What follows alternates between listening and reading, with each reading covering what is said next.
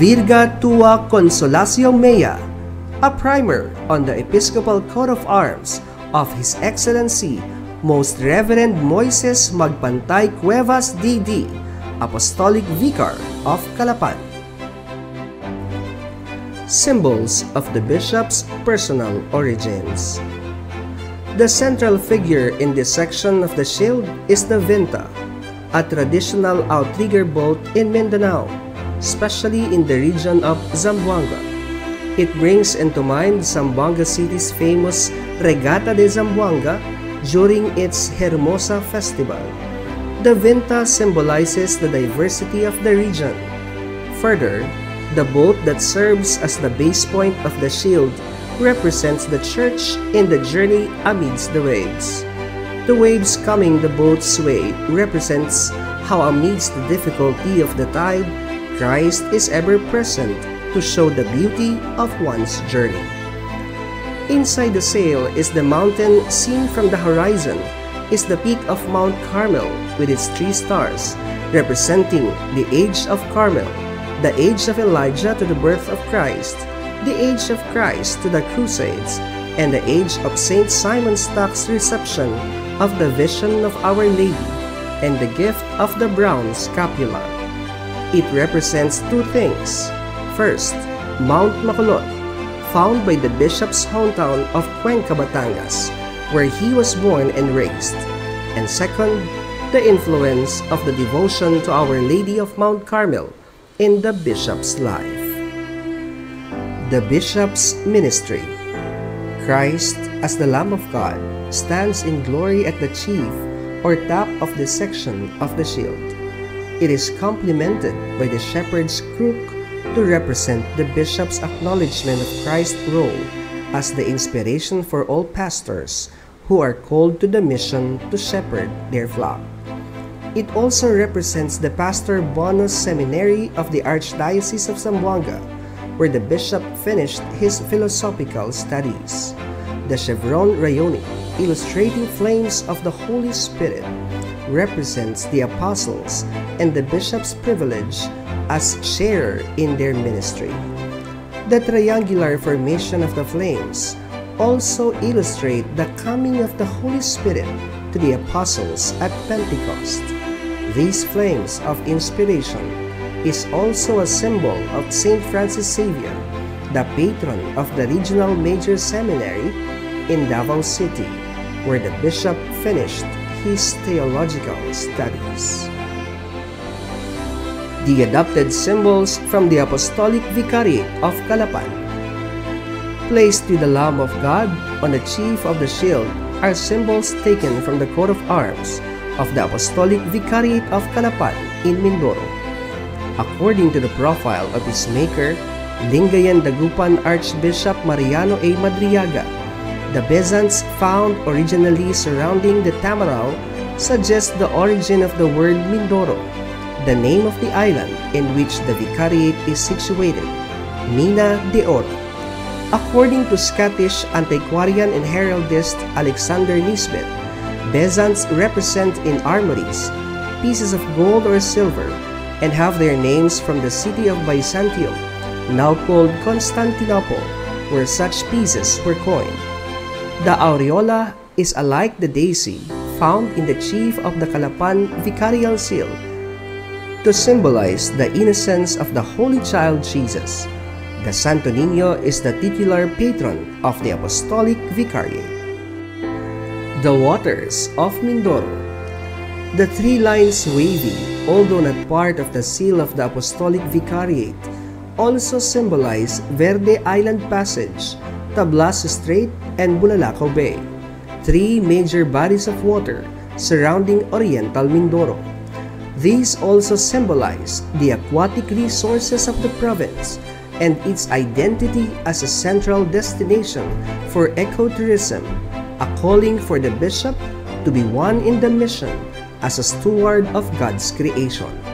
It also symbolizes the waves of missions done in the island of Mindoro by the Augustinians in 1572, the Jesuits in 1578, the secular priests and the Jesuits in the 1600s, and the Society of the Divine Word Missionaries since 1936 up to the present. The Episcopal Motto The Episcopal motto, Virga tua consolatio mea, the Latin phrase in Psalm 23, verse 4 of the Latin Vulgate of the Bible, which means, Your rod consoles me. It represents the bishop's trust in God, to which the psalm declares, Even though I walk through the shadow of death, I will fear no evil, for you are with me. Your rod and your staff, they console me. The ornaments of episcopal rank. The shield is surmounted by a cross and a Roman galero or ecclesiastical hat of this rank. It is vert with six tassels of the same pendant at both sides. These features signify the rank of a bishop. The cross has a unique feature as a cross of Santiago de Compostela. The cross, shaped as a cross fitchy, combines a cross fleury. The cross gets its name from the Apostle St. James the Greater. This is relevant as the bishop is a devotee of Our Lady of the Pillar who appeared to St. James in Spain, according to tradition. The cross is a symbol of Mary's own companionship to the bishop as he is sent to preach the gospel in his mission as a pastor.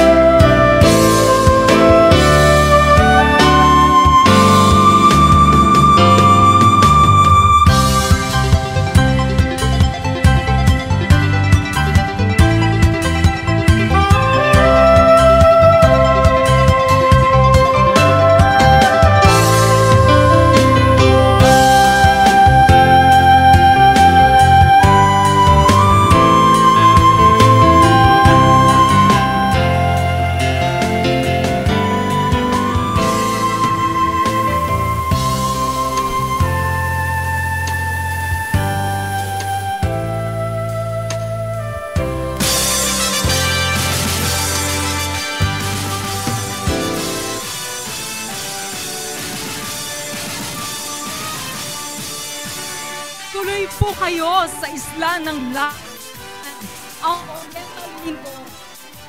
O na kasama po natin para mag anong na ito ang ating Victor ng Ariano ng Kalaban, Father Vicente Victoy, Doctor Father, Magandang umaga, Oh. magandang araw, magandang buhay sa inyong lahat. At Father, bago kayo ating mga tribong mangyan, alam niyo po, ganito ang makasaysayan at mapagpala ang araw na ito. Kaya tayo po ay live broadcast hatid ng TV Maria, the Filipino Connectivity Channel.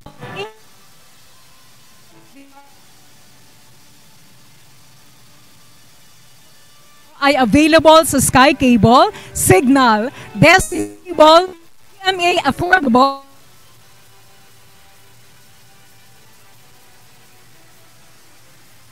Philippines. Wow, Father Vic, please, paano po pinakamainit nating pwedeng batiin ng maligayang pagdating mula sa pitong tribong mangyan, mga taga-subaybay. Proud to be Mendoreño, proud to be Ma- Maligayang pagdating po sa mangyan, sa wikang mangyan. Mayad pagsog, kapyan pagratong, mahiya hagindasog, mabayan, pagpagandasugan, fiya pagkadasog, fiya pagratong, at malen pagrating, maligayang pagdating, maligayang pagdating. Yes. pagdiriwang. Opo, gaano po Father kahalaga ang araw na ito? September 6, ang solemn mass of installation ni Bishop Moises Cuevas, DD. Napakahalaga po ng araw na ito at dapat tayo buong sambayan ng Mindanao, sambayan ng Mangyan ay magkaroon ng pusong nagpapasalamat at pusong nagagalak sa Diyos. This is the day that the Lord has made. Alam mo doon na limang taon tayong walang ama. At sa limang taon na yon, nangulila tayo sa isang tatay, isang pastol, isang obispo. At ngayon na yon, ngayon na, magkakaroon. Ng Father, ano bagong po obispo. yung mga naging gawain bago itong solemn mass of installation? Ah. September 2, September 4, at September 5. Napakaganda. Nagsimula po tayo ng September 2, ah, Sabado. Ah, diniklara po na day of prayer yon, araw ng panalangin, sapagkat una sa Diyos, bago ang lahat ng gawain. Isang maghapong pagdarasal sa Santissimo Sacramento, ang lahat ng parokya sa buong ah, Oriental Mindoro. At doon 4 nagsimula yon. Ay, nung- dumating Yan. ang ating regalo. Oo. September 4, sumalubong po tayo sa pagdating ni Bishop noong hapon ng lunes at ah, pagkatapos niya ay binigyan siya ng maigsing welcome ah, program. Tinanggap ng mga katutubong mangyan sapagkat nais nating ipagdiinan na ang puso ng obispo ay nasa puso ng mga original na inhabitants ng Mindoro, ang mga mangyan. Pagkatapos po nun ay nagkaroon ng canonical possession. At yun ang batas na nagsasabi na dapat niyang gawin ito upang siya'y makapamahala o to govern the diocese. Until and unless may canonical possession, he cannot govern the diocese.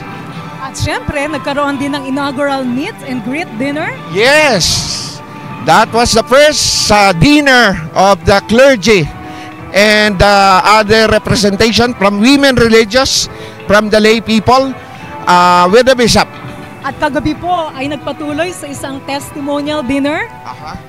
Kahagabi naman, ah, dumating yung mga may apat na pong obispo Wow, halos at kalahati buong mayroong Pilipinas. 80 pare ang dumating at ah, nagkaroon ng testimony dinner ng pagpaparangal kay ah, ah, Apostolic Nuncio Most ah, Reverend Charles John Charles Brown ilang head of the diplomatic corps at ah, isa ring parangal para kay ah, bagong obispo Moises Magpantay Cuevas. At ito po ay sponsor ng provincial govern- government sa pangunguna ni Governor Bons Dolor. At yung unang gabi ay uh, in-sponsor naman ng city government, ano po, sa pangunguna ni Mayor Malu Morillo.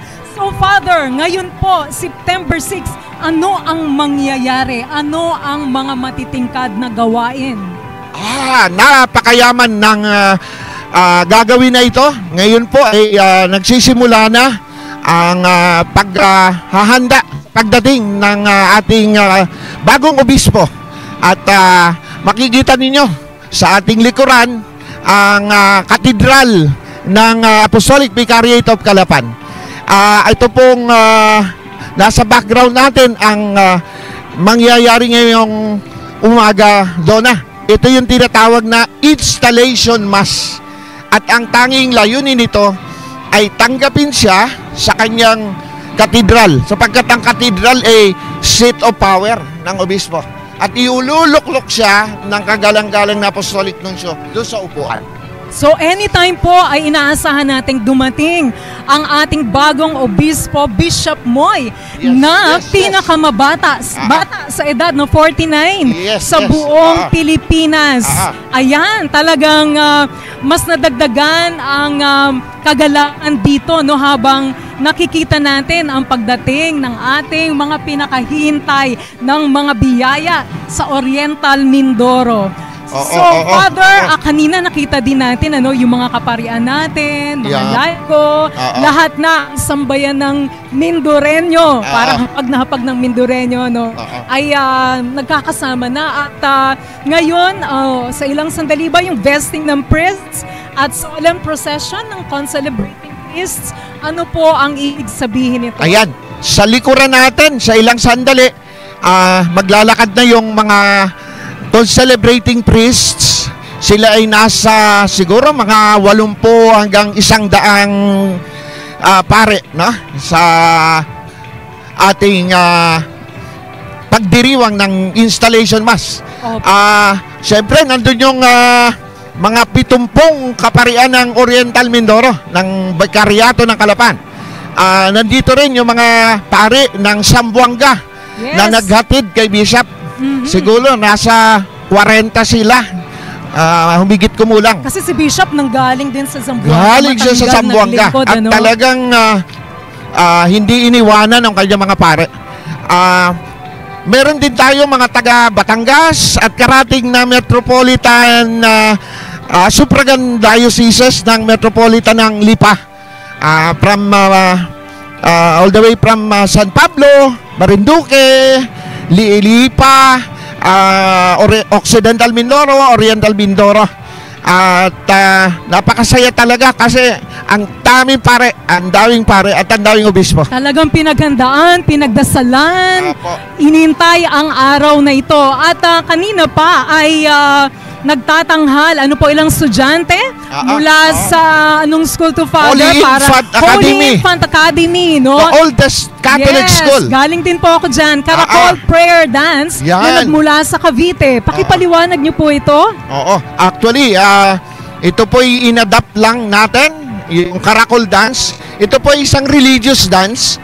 Ang sabi ay nag-origin sa Cavite at ah, minarapat po nating ah, ah, ampunin yung concept at ang isinasayaw po ay ah, religious dance with the Santo Niño kasi ang titular ng Apostolic Vicariate of Calapan ay Santo Niño. Kaya Yes. ang cathedral natin, Santo Niño Cathedral. Ayan, so wag po kayong bibitiw. Ano po, yan po, napapanood natin ang mga student dancers mula sa Holy Infant Academy. Nakatabi din lang ng ating cathedral ng Ah, Santo Niño. Yes, yes, yes. At Alum- syempre, alumna ka of course, Alumna ka. proud alumna at Oh, superintendent nagpapasalamat. ako dito dati, director. Yes, marami for six tayong years. dapat ipagpasalamat. At alam mo, ah, Father, um, ating iniimbitahan ang mga nakasubaybay. Wala pong BBTV. Paki-like po, share po yung ating live streaming para higit na marami ang makasaksi sa makasaysayan pinagpala at mabiyayang araw na ito, September 6, Solemn Mass of Installation ni Bishop Moises Cuevas, DD. At magandang ah, ating ah, ipaliwanag muna na s- ang ah, gawain na ito ay ah, napakayaman sa kahulugan ha sapagkat ah, minarapat nating ah, ilok iloklok si bishop bilang ah, synodal bishop kasi ngayon ay year of the synod on synodality ni Yes. Pope Francis Yes. kanya napakayaman nung ah, mangyayari. At syempre, ah, napakayaman nito sapagkat ah, maraming mga makikita ang seremonya, ritual na nasa kultura ng Mindoro, nasa kultura Yes. ng Mangyan, Opo. nasa kultura ng synodality, sa kultura ng kapag ng pamilya Mindoreño. Kaya watch out lang po, hintayin nyo at ah, sa ilang sandali makikita natin yung introductory rites. At napakaganda ng naging paghahanda ano po talagang para sa taong bayan. Oo. Nasa salitang Tagalog po Oo. ang ah, ating ah, magiging ah, banal na bisa, liturgical celebration. Ginawa Tama ba? po nating Tagalog. Pinasimple hanggat maaari. Ah, sapagkat, alam mo doon na nung nagkaroon ng synodal consultation process, ang isang matingkad na ipinarinig sa amin sa simbahan ng mga ah, nasa laylayan na lipunan, itak, kami daw mga nasa simbahan, English ng English, ay hindi daw nila maintindihan. Kaya minarapat po namin na hindi maging English ang ah, seremonya, kundi maging Tagalog. Ayan, di ba? Nakikinig ang ating simbahan Ah, sa diwa ng synodality. At ah, kaya po ah, tayo ay ah, ah, mag-suggest kung meron tayo dahil nakikinig Yes. ang ating Yun mga ang leaders synodality. simbahan. A listening church, a listening church. At yan ay yun para yun. sa lahat. Walang Yes. maiiwan, sama-sama together. Kaya nga ang maglalakbay. isa sa mga ah, ah, tarpaulin na ating ginawa is ah, pagpapasalamat sa Diyos at ah, nais nating si Bishop Moises Cuevas ay maging synodal bishop Ayan. ah. para sa isang synodal na lokal na simbahan ng Apostolic Vicariate of Calapan. Ayan. Salamat po sa mga ah, nagsama-sama no para sa paghahanda na ito. Talaga namang pinagtulungan ano at ah, we look forward to Yeah. ang very meaningful um synodal ah, Bishop Moises Cuevas. Ito na yung ah, solemn procession ng mga makikipagdiwang na pare. At ah, medyo ah, solemne ito sapagkat bahagi na ng misa na maunang iupo yung mga pare at ah, maging tampok mamaya sa entrance procession ng misa ang obispo lang si Bishop Moy at ang ah, ah, mahal na at kagalang-galang na apostolic nuncio. So iuupo na at naglalakad na ang ating mga pare para sa kanilang paghahanda sa kanilang tanging upuan sa pakikipagdiwang sa misa. So kasabay ng ating kagalakan, ang ating panalangin para po sa tagumpay ng solemn mass of installation na ito ni Bishop Moises Cuevas. Sa ilang sandali din, ah, darating na rin si Bishop, no? Ah, mga habang tayo ay naghihintay, ah, nasa Bishop's residence siya. At ah, siya ay, ah, kanina ay in high spirit nung ah, mag, Mga ilang Magkita minuto. kami. Ilang Magkita minuto pa, kami. no? Oo. Kasi talagang maraming Nagkita ano eh, nagmagalak na sumasalubong Oo. sa kanya. bago mag-breakfast, ah, napaka-high spirit ni Bishop. Oo, At, very ah, youthful. Yes. Very dynamic. At ah, parang ano, spirit Parang at- filled, spirit Oo. filled. At tuwan-tuwa siya sa atin sa ah, naranasan niyang welcoming Yes. noong lunes, kahapon, at hanggang ngayon sa patuloy na mainit na pagtanggap sa kanya dito sa Apostolic Vicariate at of home Calab. na at home siya, Father. Ano? Ah, super, super at home. Super at home. Talagang ah, kahit ah, sa kanya mga ilang speeches na. Ang ganda ng binibitawan ni Bishop na at ang aking doon na eh hindi nawawala sa kanyang ah, sa speeches doon sa nakaraang dalawang araw yung ah, culture of encounter Di- Oo. na ito ay ah, from Pope John Paul II uh, cult, uh, culture of encounter na and uh, mas lumidi linaw kay Pope Francis yung culture of encounter sa simbahan. At yun ang lagi niyang salita. Tama encounter, po yun. Opo, encounter. kaya nga tayo, inspira, inspirado tayo na makilakbay dito no, sa pagtataguyod ng culture of um, encounter. At ah, talaga namang um, napaka-consistent niya no, sa pagsisentro din no, sa Panginoon kay Jesus sa nangyayaring mga agawain bago itong kanyang solemn mass of installation. At alam mo ka, sa marami niyang doon ah, ah, lagi yung dalawang ah, laman ng puso niya. Una, pasasalamat. Pangalawa, yung kagalakan. At yung kagalakan na yun, ah, lagi niyang idinidiin na kahit siya ay nahirapang ah, ah, lumundag-lundag sa dagat dahil napakahirap at malakas ang alon, eh siya'y nawala daw ang ah, ang ah, ang ah, pagkahilo at ah, pagkagutom dahil sa kagalakan ng pagtanggap sa kanya ng mga taga Oriental Mindoro. At grabe ano, yung pagiging lapat niya sa taong bayan, talagang personal niya rin tinatawag yung mga Iba. um, nakapalibot sa kanya, no? Taka ako, welcome dinner namin sa kanya nung Webes, ay gusto kong bulungan si Bishop na sa, pahinga na po kayo. Alas 9, alas 10. Ay nagpapapicture. At ah, halos ay in-accommodate magpa-picture sa kanya. Oo. Kaya yung photo opportunity sa kanya, eh parang encounter eh. Parang Mhm. ah, staying kahit pagod late at night, Mhm. parang yun talaga consistent siya doon sa pansin Bahagi ko ha, sa pa pansin ko. Kasi yung speeches niya doon na lagi merong word na encounter. Correct. Oo. Talagang um, Francis, uh, culture rin ng of encounter. ministry, no? yung consciousness. At Father, talagang pasok na pasok siya sa sektor ng kabataan. Ano? Napaka-game niya. At kahit anong sektor, anong antas, di ba talagang kanyang nasasabayan. Yan ang ating bagong Bishop Moises At Cuevas. alam mo, siya ang pinakabatang obispo. Mhm, nabanggit 49, natin kanina. 49, Yes. Pero ang dunong, ano, ang wisdom Ah, ay uh, wala ma- sa edad. mayaman, talaga mayaman, naman. Mayaman ang kanyang mga reflections Mhm. sa kanyang tatlong ah, speeches. Mhm. ah, kita ko na. Kaya naman, di ba? ah, may tinutuhog na ah, mga malalaking mensahe Mhm. na nakikita ko yung yung magandang ah, direksyon ng ating ah, bikaryato. Mm, tunay na biyaya, instrumento ng Diyos, di ba? At syempre, wini-welcome natin, Father Vic, ang mga lay attendees natin. Mula sa Vicariate 4 and 1 hanggang sa VF 5, please. Actually, ah, hindi na lima, siyam ito. Nadagdagan na, yes. bago nawala si Bishop Kahandig, minarapat niya yung Vicar Purain ay maging close. At maganda rin ito kasi encounter to. Kasi ayaw niyang ang lalayo, ang lalaki.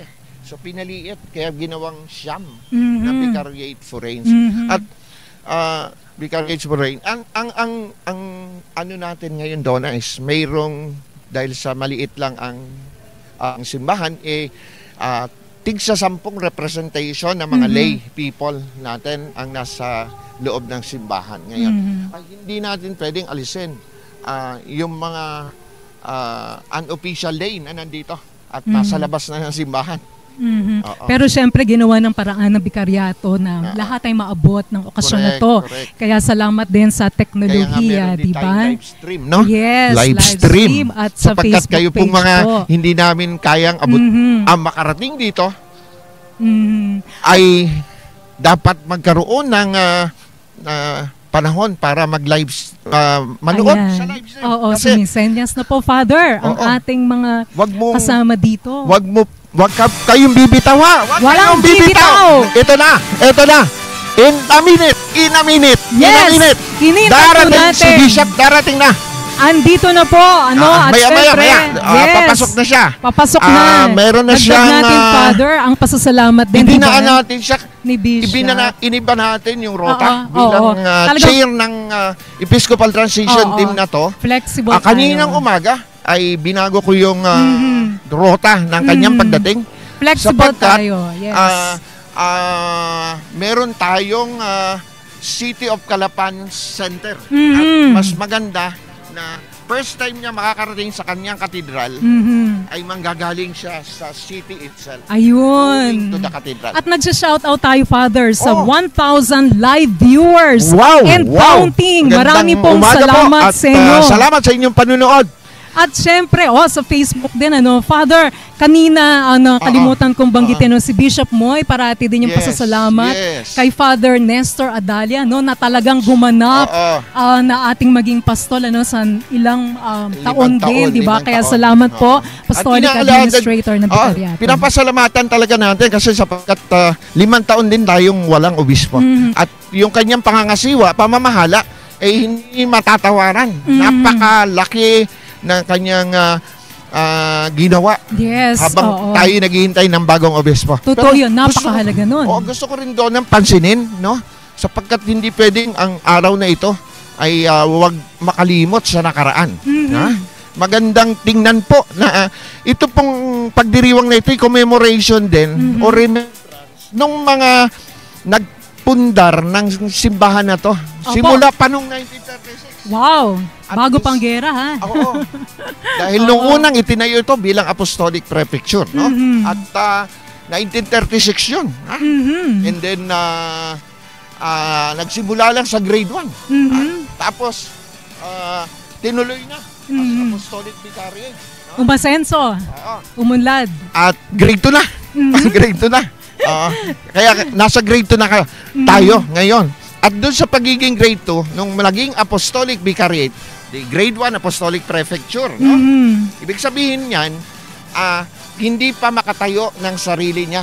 Mhm. Kaya hindi siya pwedeng gawing diocese or diocese. So magsisimula muna sa grade 1. Mhm. Apostolic Prefecture ang tawag. Mhm. At nagkaroon ng dalawang Apostolic Prefects.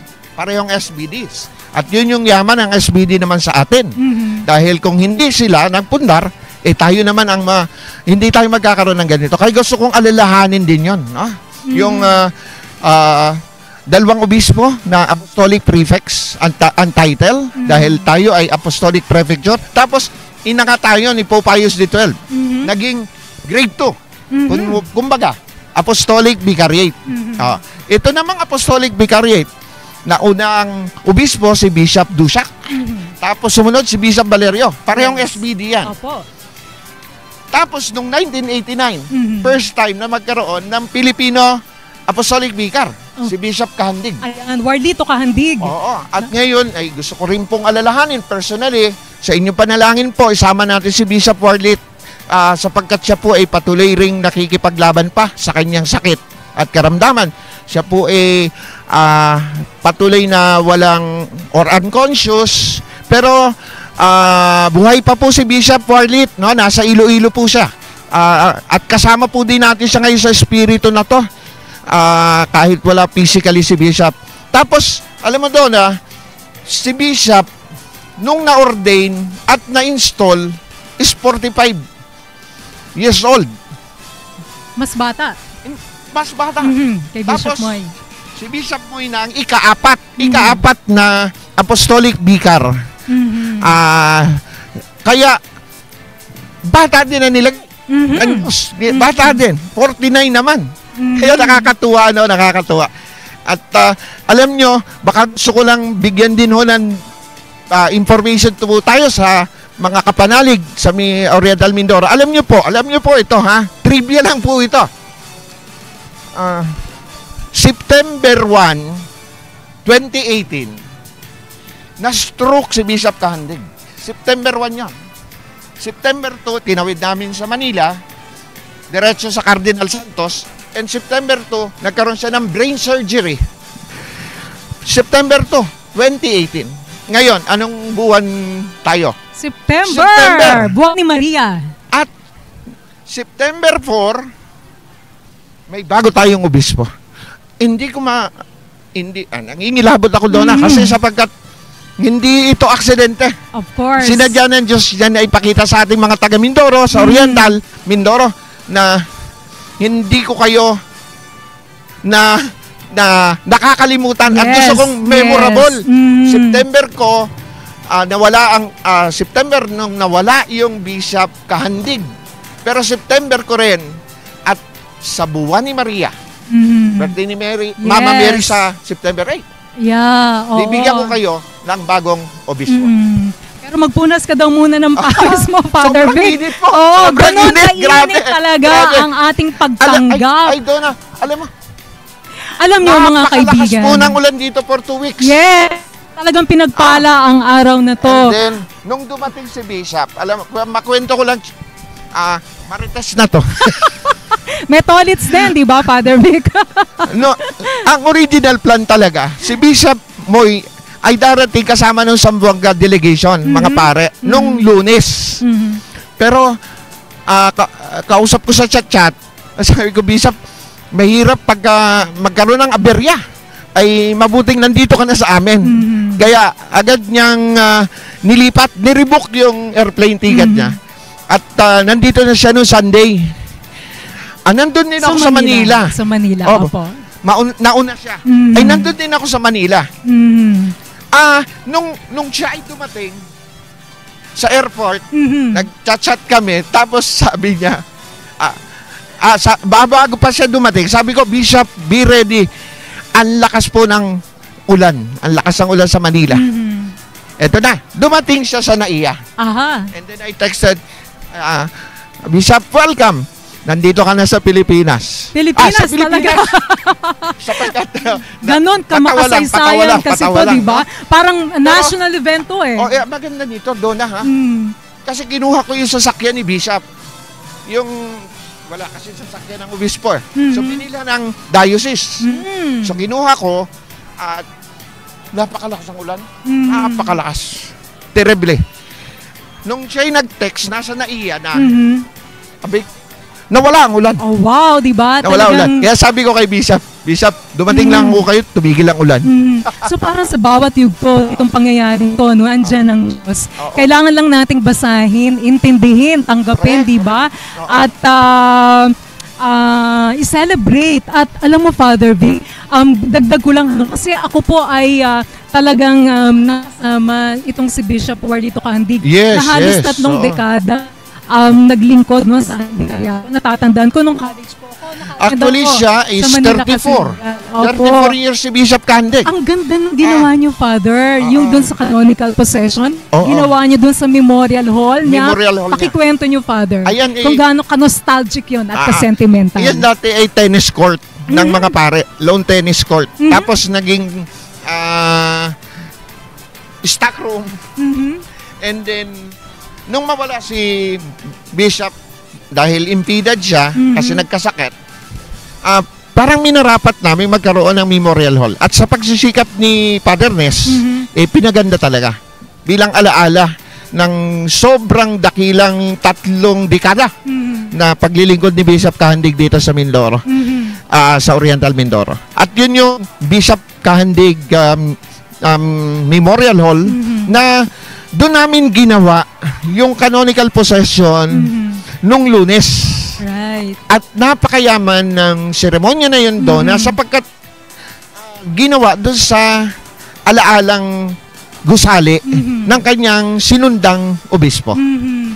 At Father, nakakatuwa yung eksena no, kung saan yung mga kaparian natin, diocesan at SVD ay ah, humalik sa um, singsing ni Bishop Moises. Yeah. Hindi po yung pagmamano kasi may biruan eh, ah. na yung mga mas matatandang pari nagmamano sa mas Ah, bata. ah, ano.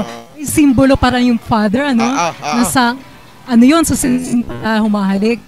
sapagkat ah, ang nangyari ay doon sa homage namin ay kaming mga pare ay nag-fraternal kiss. Mhm. Itong fraternal kiss yung mayakap Mhm. bilang tanda ng kapatiran ng obispo at ng Mhm. mga pare.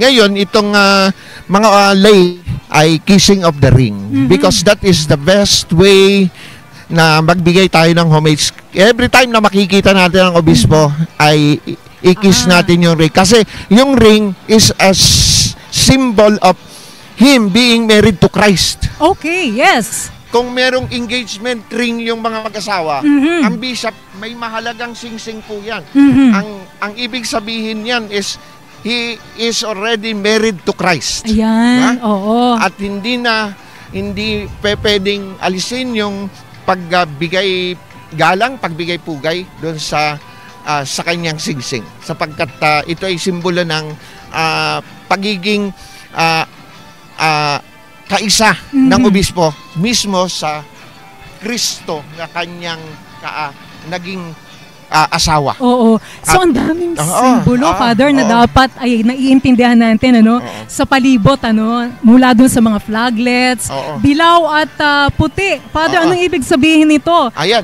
kadugsong yan ng ano, sing-sing, yung ah, married to the church na rin si Bishop, Mhm. no? At itong church na to, itong church na ito, ay napaka, ah, may tinatawag tayo kasing universal church. Yes. Ah, ah. Kaya yung simbolo ng dilaw at puti, yan ay flag ng Batikano. Mm, Oo, mhm. na siyang ah, na sentro Mhm. ng Universal Church Ayan. where Pope Francis is seated, no? Mhm. Ngayon, ah, kaya minarapat natin na ang local church, ang Mindoro or Apostolic Vicariate of Calapan is a local church, Mhm. particular church. At nasa ah, nasasakupan siya sa loob ng Universal Church under the headship of our 200 number 266 po Pope Francis, na? Okay? Ayan, oo. Sa mga gusto pa po ng uh, dagdag na mga kaalaman, meron po tayong mga postings sa Facebook page ng Apostolic Vicariate of Calapan. Ang isa nga po dito, pagpapaliwanag sa moto ni Bishop Moy. Please, Father. Okay. Mamaya, ma maintindihan natin pag dumating si Bishop Moy, ah kukunin natin yung habang siya'y lumalakad, maganda ipaliwanag yung moto na yan. Ayan. Magandang tingnan lang yung yung moto ano ni ni Bishop Valerio in Domino Confido. Ibig Ah, sabihin? I trust in God, no? And I then ah, ah, si Bishop Kahandig naman, fiat voluntas tua. Thy will be done. Thy will be Ah, done. mamaya, secret yung kay Bishop. Yan, suspense. Eh, yung- pero pero ito magandang ah, mabanggit natin na malalim yung coat of arms ni Bishop kaya medyo lagyan natin ng ah, ah, bigyang mahalagang ah, pagpapaliwanag ito. Ano? Pwede ba nating sabihin na hindi lang kay Bishop talaga yun? Ang- Kailangan ang moto. sasamahan natin siya. Oo. No, dun Kaya sa habang moto naglalakad siya mamaya dito, Donna. Ah, Ayan. oo. Kasi ah, alam mo yung ano, yung moto, no, sa coat of arms. Mhm. Bawat obispo may coat of arms, no? Mhm. Ang ah, ang kanyang ah, motto is your rod consoles me. Your Mamaya, right folds ah, me. Sa mamaya, Tagalog, mas- Father, to. Ang iyong ah, tungkod. Tungkod, ayan. Pag ah, papalubag loob, Ayan. loob sa akin. Ang ganda. Ang papalakas loob sa akin. Mhm. Yung tungkod kasi is very important for a Mhm. bishop, no? The staff, no? Mhm. And uh, referring, of course, to to God who has given him that that that uh, uh, being chosen to be the bishop, no? He is a Mhm. shepherd, and he is a shepherd, and being a shepherd, therefore, uh, yung uh, yung uh, meron silang staff, pero more than usual staff. Mhm. At ito lagi yung binabanggit ni Bishop Moy sa kanyang mga Mhm. uh, speeches. Sapagkat Mhm. sabi niya, this is not about Bishop Moy. Mhm. This is about God.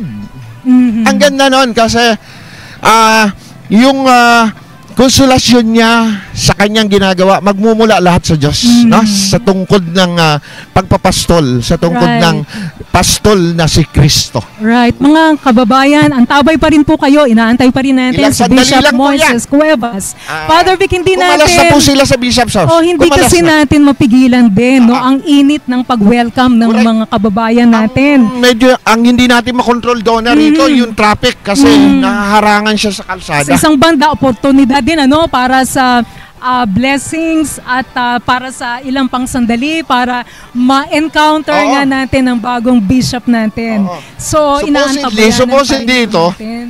merong ano merong ah, mobile Mhm. convoy Episcopal mo. na may Hawi Brigade Apo, Pero hindi natin mapipigil po doon sa dinadaanan ni Bishop. correct. Ang mga tao ay naglalabasan na rin Mhm. at ah, ito ang ah, uncontrollable. Kaya Mhm. supposedly doon na 8.30 magsisimula na yung introductory rites natin Mhm. sa kanyang arrival. Pero we are delayed by 5 minutes but Mhm. ah, in anyway at at any rate po just hang on po Yes. sapagkat ah, At sigurado tayo, no? Yes, the sis. bishop does not mind. Oo. Ganun siya ka-flexible, no? Oo. At kalapat sa taong bayan. At talagang along the way, ngiti pa yan. ah. Blessings. At siya ngayon doon na ay nasa Bishop sa Sinundo. Na? Mhm. Doon siya na simula nung lunes. Nung inihatid niya na, tuwan-tuwa siya kasi inihatid namin siya sa isang malak- magandang Mhm. seremonya. Ang tawag namin, Lampara Rite. Wow! Yung pasok niya sa sa uh, bishop's house, nilagyan namin ng ritual. Mhm.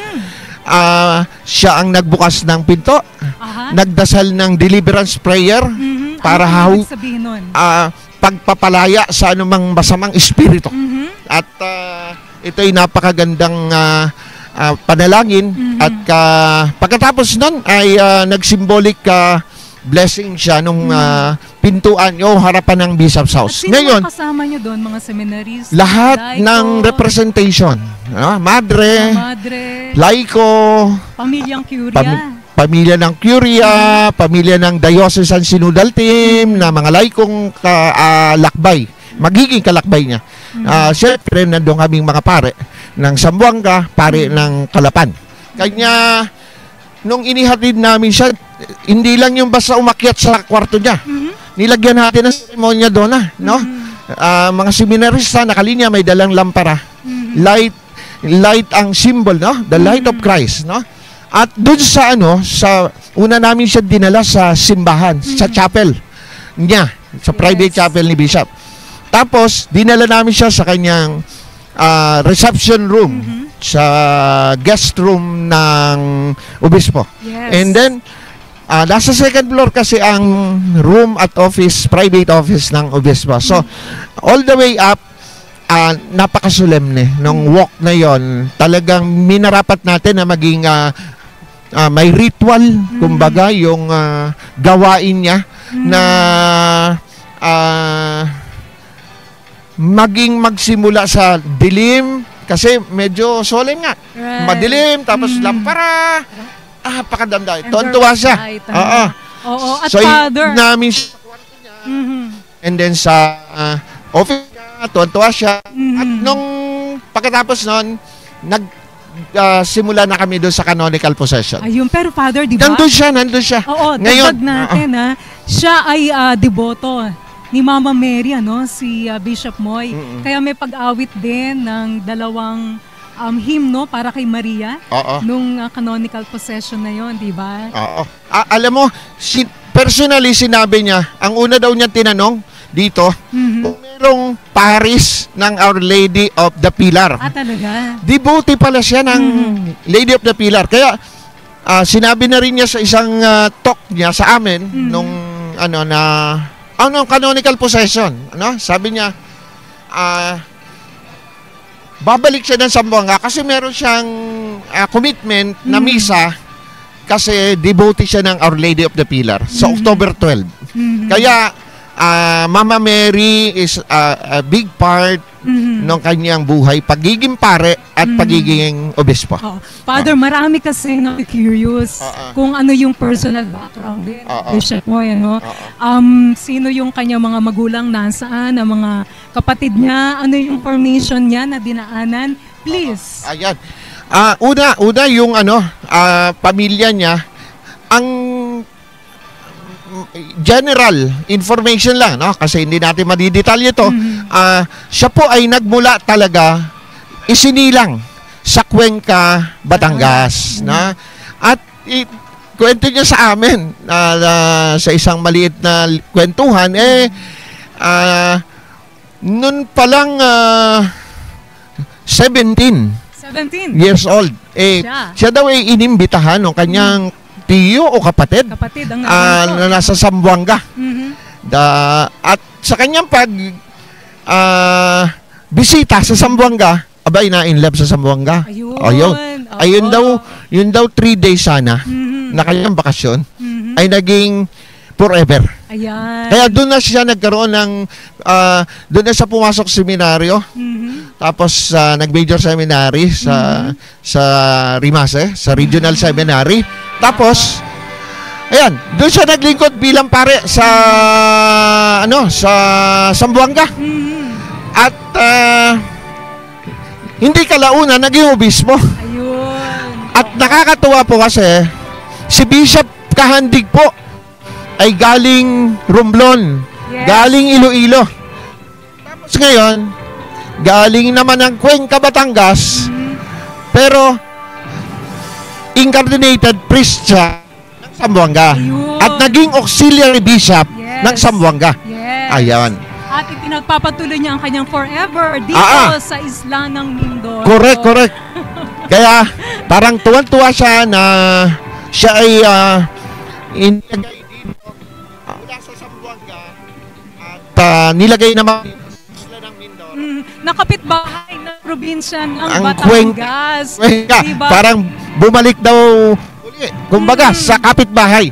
At alam mo na, yung, yung, ah, yung lipa kasi, at Mm. dati, ang, ang lipa ay sa atin yon sa atin Opo. na nanay. Mhm. Ang tawag niya metropolitana. Yes. Kami anak. Aha. Ah, ah, anak. Pero magandang tingnan sa kasaysayan na dati ang ang Mindoro Mhm. ay sakop ng lipa. Opo. Diocese pa lang ang lipa. Mhm. Na, ngayon, nung ah, inihiwalay ito at ginawang apostolic prefecture, napakagandang tingnan ang ating utang loob. Kahapon nga, kwinikwento ko sa radyo totoo Mhm. ng Batangas na Mhm. kung meron man kami ipagpapasalamat at gusto ko na po itong ah, bigyan pansin. Mhm. Dahil lima pong taon kaming walang bishop. Mhm. Pero ang tumayo po ang bishop sa amin. At shout out po sa mga tagalipa. Yes. Kung kayo'y nanonood. Sa puso po naming buong sambayan ng Mindoro. Mga mangyan ng Mindoro. Lalo sa aming mga kaparian, ang pasasalamat kay Archb. Kay Archb. Yes, Garcia. Ah, Archbishop Garcera. Mm. Kasi siya ang tumayo na takay namin sa limang taon. At hindi niya kami pinabayaan dito. Salamat Dinadala, po. Oo. Nagbibigay ng talks. Totoo. At nag-ordain siya. Mhm. And to think, doon na in five years na walang obispo, Mhm. Nag-ordain siya sa atin ng sampung pare. Tama, salamat po. At hindi natin nalilimutan. Oo. Napaka-challenging noong mga taon na yun dahil panahon ng pandemya. Correct, ano correct, po, correct, kaya um, muli ang ating pasasalamat Yes, kay yes. Archbishop Ayan, dumating na si- Garcera. Yehey! Dumating Bishop na po Pasarayb! ang bago nating obispo, si Bishop Moises, Bishop In- Moy na. Cuevas. Pag nakikita natin yung ah, kanyang, oh maganda rin ito, yung Mm-mm. tawag namin, Episcopal Mo- Mobile. Mobile. Hindi Mm. namin kaya magpagawa ng napakagandang mobile. Ayan, kumakaway siya. So inadapt natin, inadapt Mm. natin sa Kasama niya si ah, Father Max Adalia. Episcopal Mobile. Mhm. Ah, yari sa Kubo. Ayan. Oh, yari oo. sa kubo. Pinoy na Pinoy. Mangya naman yan yun. Mhm. Ah, kahit yung ah, ah, mga prutas-prutas, Mhm. agricultural representation ng Mindoro yan. Yan Correct. lang po ang aming kayamanan dito. Mhm. Kayamanan At ng kultura naman yan. natin. Kaya ganun ang At pagpapalaga sakahan. sa kalikasan Ayan, ng mga na. taga Mindoro. At Bumaba kasabay na po si Inescortan Si siya ni Father Apostolic Administrator na Adalia. ngayon ay ah, ah, ah, Ayan, patuloy ina-escorta talaga na po siya ni ah, na umaalala. ng liturgical assistants natin, Father Mm. RB at si Father Lito. RV Villavicencio, Father Lito Abelia. At nandyan po ngayon ang ah, ang obispo, nakikikamay-kamay siya Mm. sa mga ilang ah, nasa gate, no? Mhm. Another um, part of yung tinatawag niya na culture of encounter. Ah. buhay na buhay Ah, talaga ah. naman. Kaya welcome Ayan po, na, oh. Bishop Yan na si. Bishop. Nagpapalakpak Mabuhay, na Bishop dito. Moy Mabuhay. Cuevas. Welcome. You have So, arrived at your cathedral, our cathedral. Yes. Our Bishop Moises First- first time Cuevas. niya na makarating. First time, Ah, wow. Pinilit naming wag siyang pumunta rito. Mhm, para For three days na nandito na siya sa. Kalapan. Mhm. Para surprise ba? Oo, lalong masusurprise siya mamaya no, Ah, ah. sa mainit na pag-welcome ng Ah, ating mga katutubong mangyan na talagang nag-antay din ano, nasa isang bahagi dito. So, ah, tuloy-tuloy po ang ating kasiyahan, ang ating pagdiriwang, ang ating pasasalamat para po dito Napaka- sa makasaysayan. napaka makasaysayan talaga nito. Mass Oo. of Installation. Maswerte tayo. Ang, ang last dito natin tayo. na nagkaroon nito kay Bishop Kanding, 1989. 1989. Ah, Opo. ah. Yes. At third year theology ako noon. Mhm. Mhm. Theologian, third year. Pero Mhm. ngayon ako, 29 years ng pare. Mhm. 29. Malapit na So, mag-30. ang agal Mhm. na nagkaroon ng itong event na merong bagong obispo, Mhm. na mayroong canonical possession, Mhm. merong installation mass. Mhm. Kaya we are all excited. Ha? yes. Talaga so, naman. Sa biyaya nung araw na ito, nakaka, Mhm. nakakatuwang tingnan, Mhm. nakakatuwang tingnan na ah, ganito yung etsura natin. Mhm. Pambihirang pagkakataon, Father Vic. Diba? At yan, Kaya, nakikita kaya natin. sa biyaya ng Diyos, Lord, Mhm, yes. we have our bishop at our uh, Santo Niño Cathedral. And so we will, Ayan, will be going na. to start, ano? Umiti, ang ganda ng smiley bishop, oh.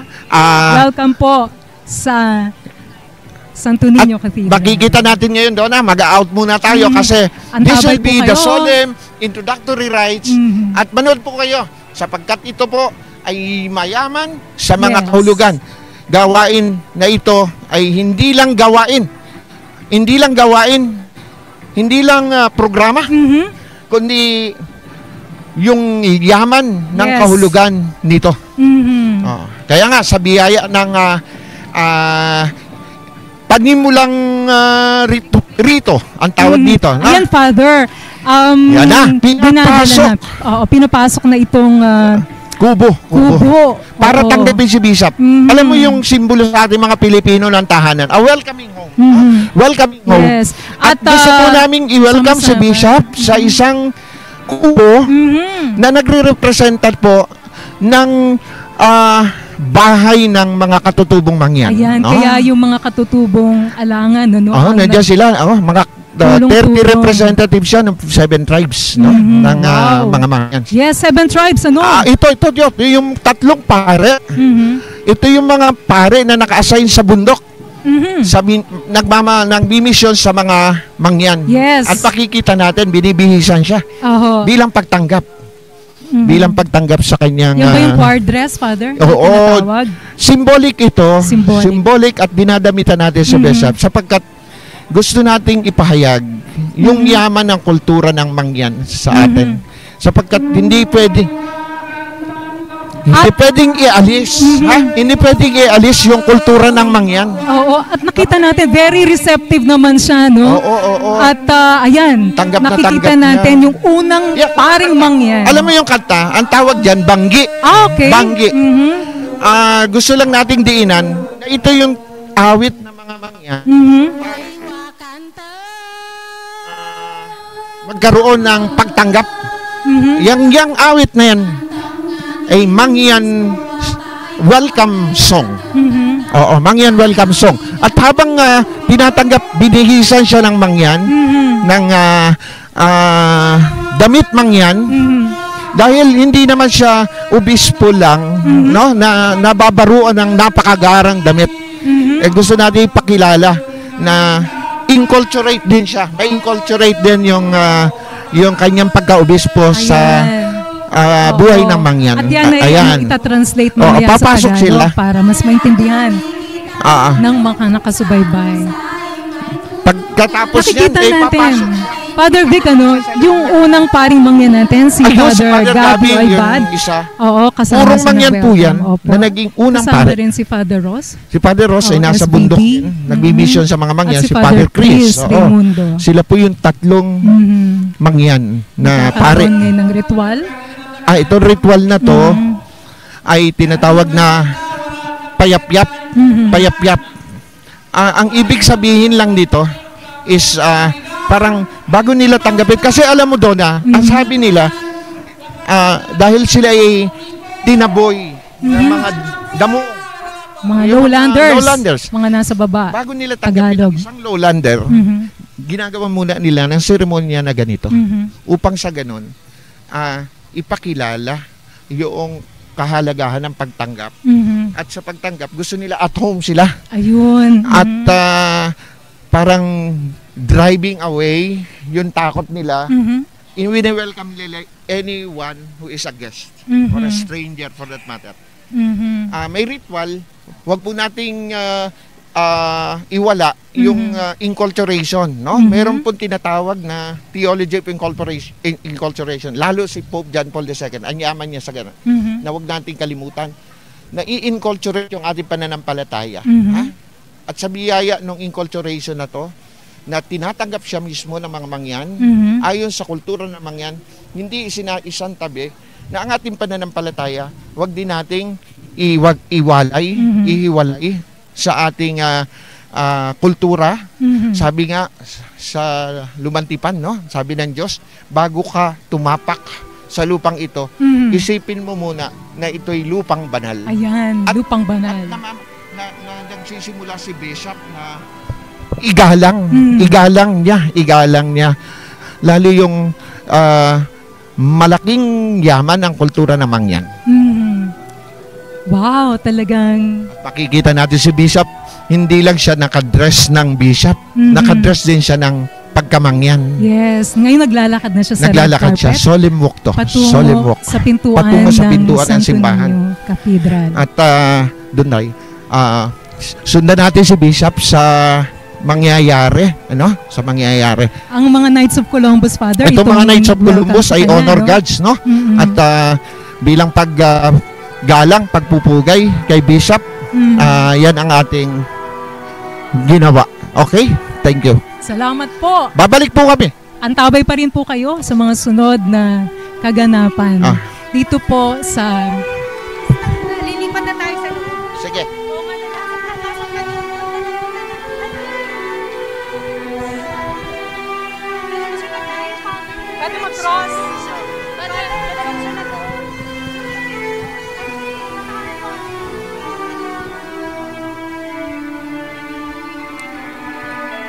Saan tayo?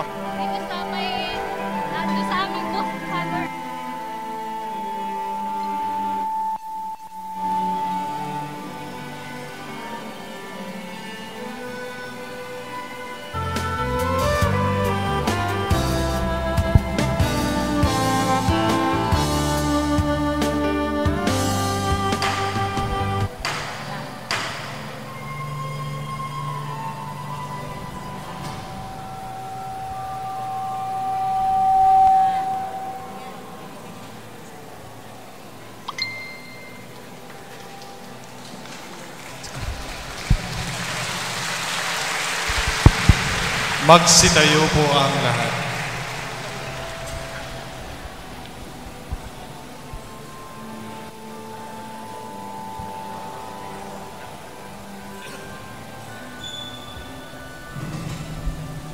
Magsiluhod.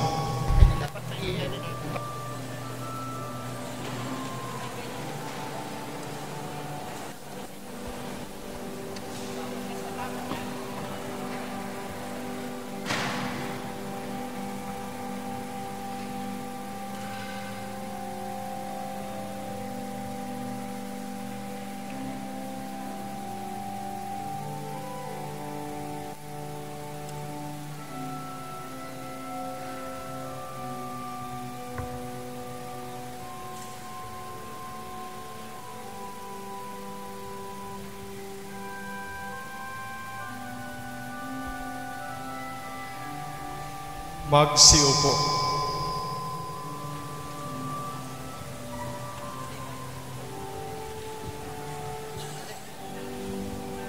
Si Bishop Cathedral. Ah Archbishop Garcera bilang Metropolitan Bishop dahil ang ah, kalapan po ay supragan uh, lipa. Ngayon po ay ah, isinasagawa ang ah, formal na pagtanggap ni Bishop Garcera, Archbishop Garcera kay ah, Bishop Moy.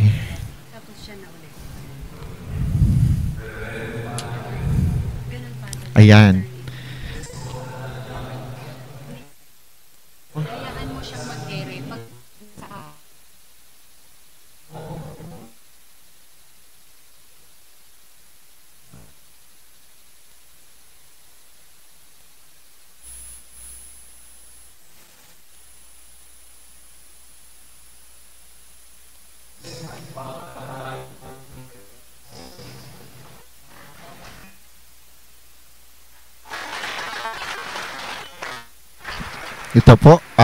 Naglalakad si Bishop. Tinatanggap po siya ng rector ng Santo Niño Cathedral, si dating Apostolic Administrator, Father Nestor J. Adalia. tinatanggap sa kanyang katedral. Yan po. Formal na, na tinanggap sa katedral ang kagalang-galang na obispo na si Bishop ay Bas. Siya po ay ah, ni, sinasamahan ng kanya Bishop, si Archbishop Garcera patungo sa katedral. Ah, ito pong seremonya na ito ay ang paghalik ni Magsitayo. Bishop Moy ah, Cruz. Ang kanya buhay ay nakaugat kay Jesus, kay Kristo. Ito po, at siya'y humalik at sa kanyang paghalik, ah, ipinapaalaala sa kanya na si Jesus, si Kristo, ang puso ng kanyang paglilingkod bilang pastol ng simbahan ng Apostolic Vicariate of Calapan. Siya po ngayon ay symbolically rin nagbabasbas kahit po sa malapit na bahagi lamang ah, abot po ng kahit kayo mga nasa live stream uh, kanyang pagbabasbas. Ah, i- una niya yung pagbabasbas sa ating sambayanan. Ah, makikita ngayon ang paglabas ng ating ah, mahal na obispo at ah, magpapatuloy po ito kasi ito po ay interlude lang. Magbibihis po siya ng damit pang ah, pagmisa para sa opisyal at formal na liturgical act. Son Sandali po. Makikita natin ah, siya ay sacrament Ah, nandito lamang po yung Adoration Chapel sa bandang gilid at ah, siya po ay magdadasal muna at sa kanyang pagdadasal ay Magsiupo. ng ah, papare.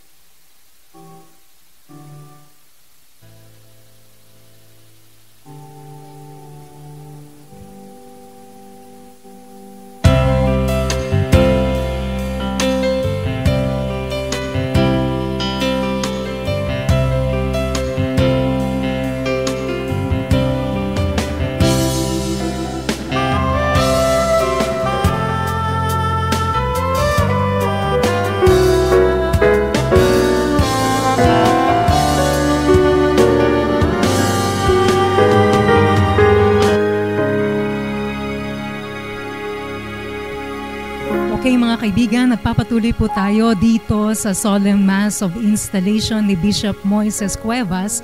Sa inyong kadir- ating bihisan si Bishop Moy at pong tanong ng ating uh, Judicial Vicar, Father Vic Uy, gaano po kahalaga talaga itong ano, araw na to no? Para sa kabatiran ng mga ngayon lang siguro nakatunghay sa ating live streaming.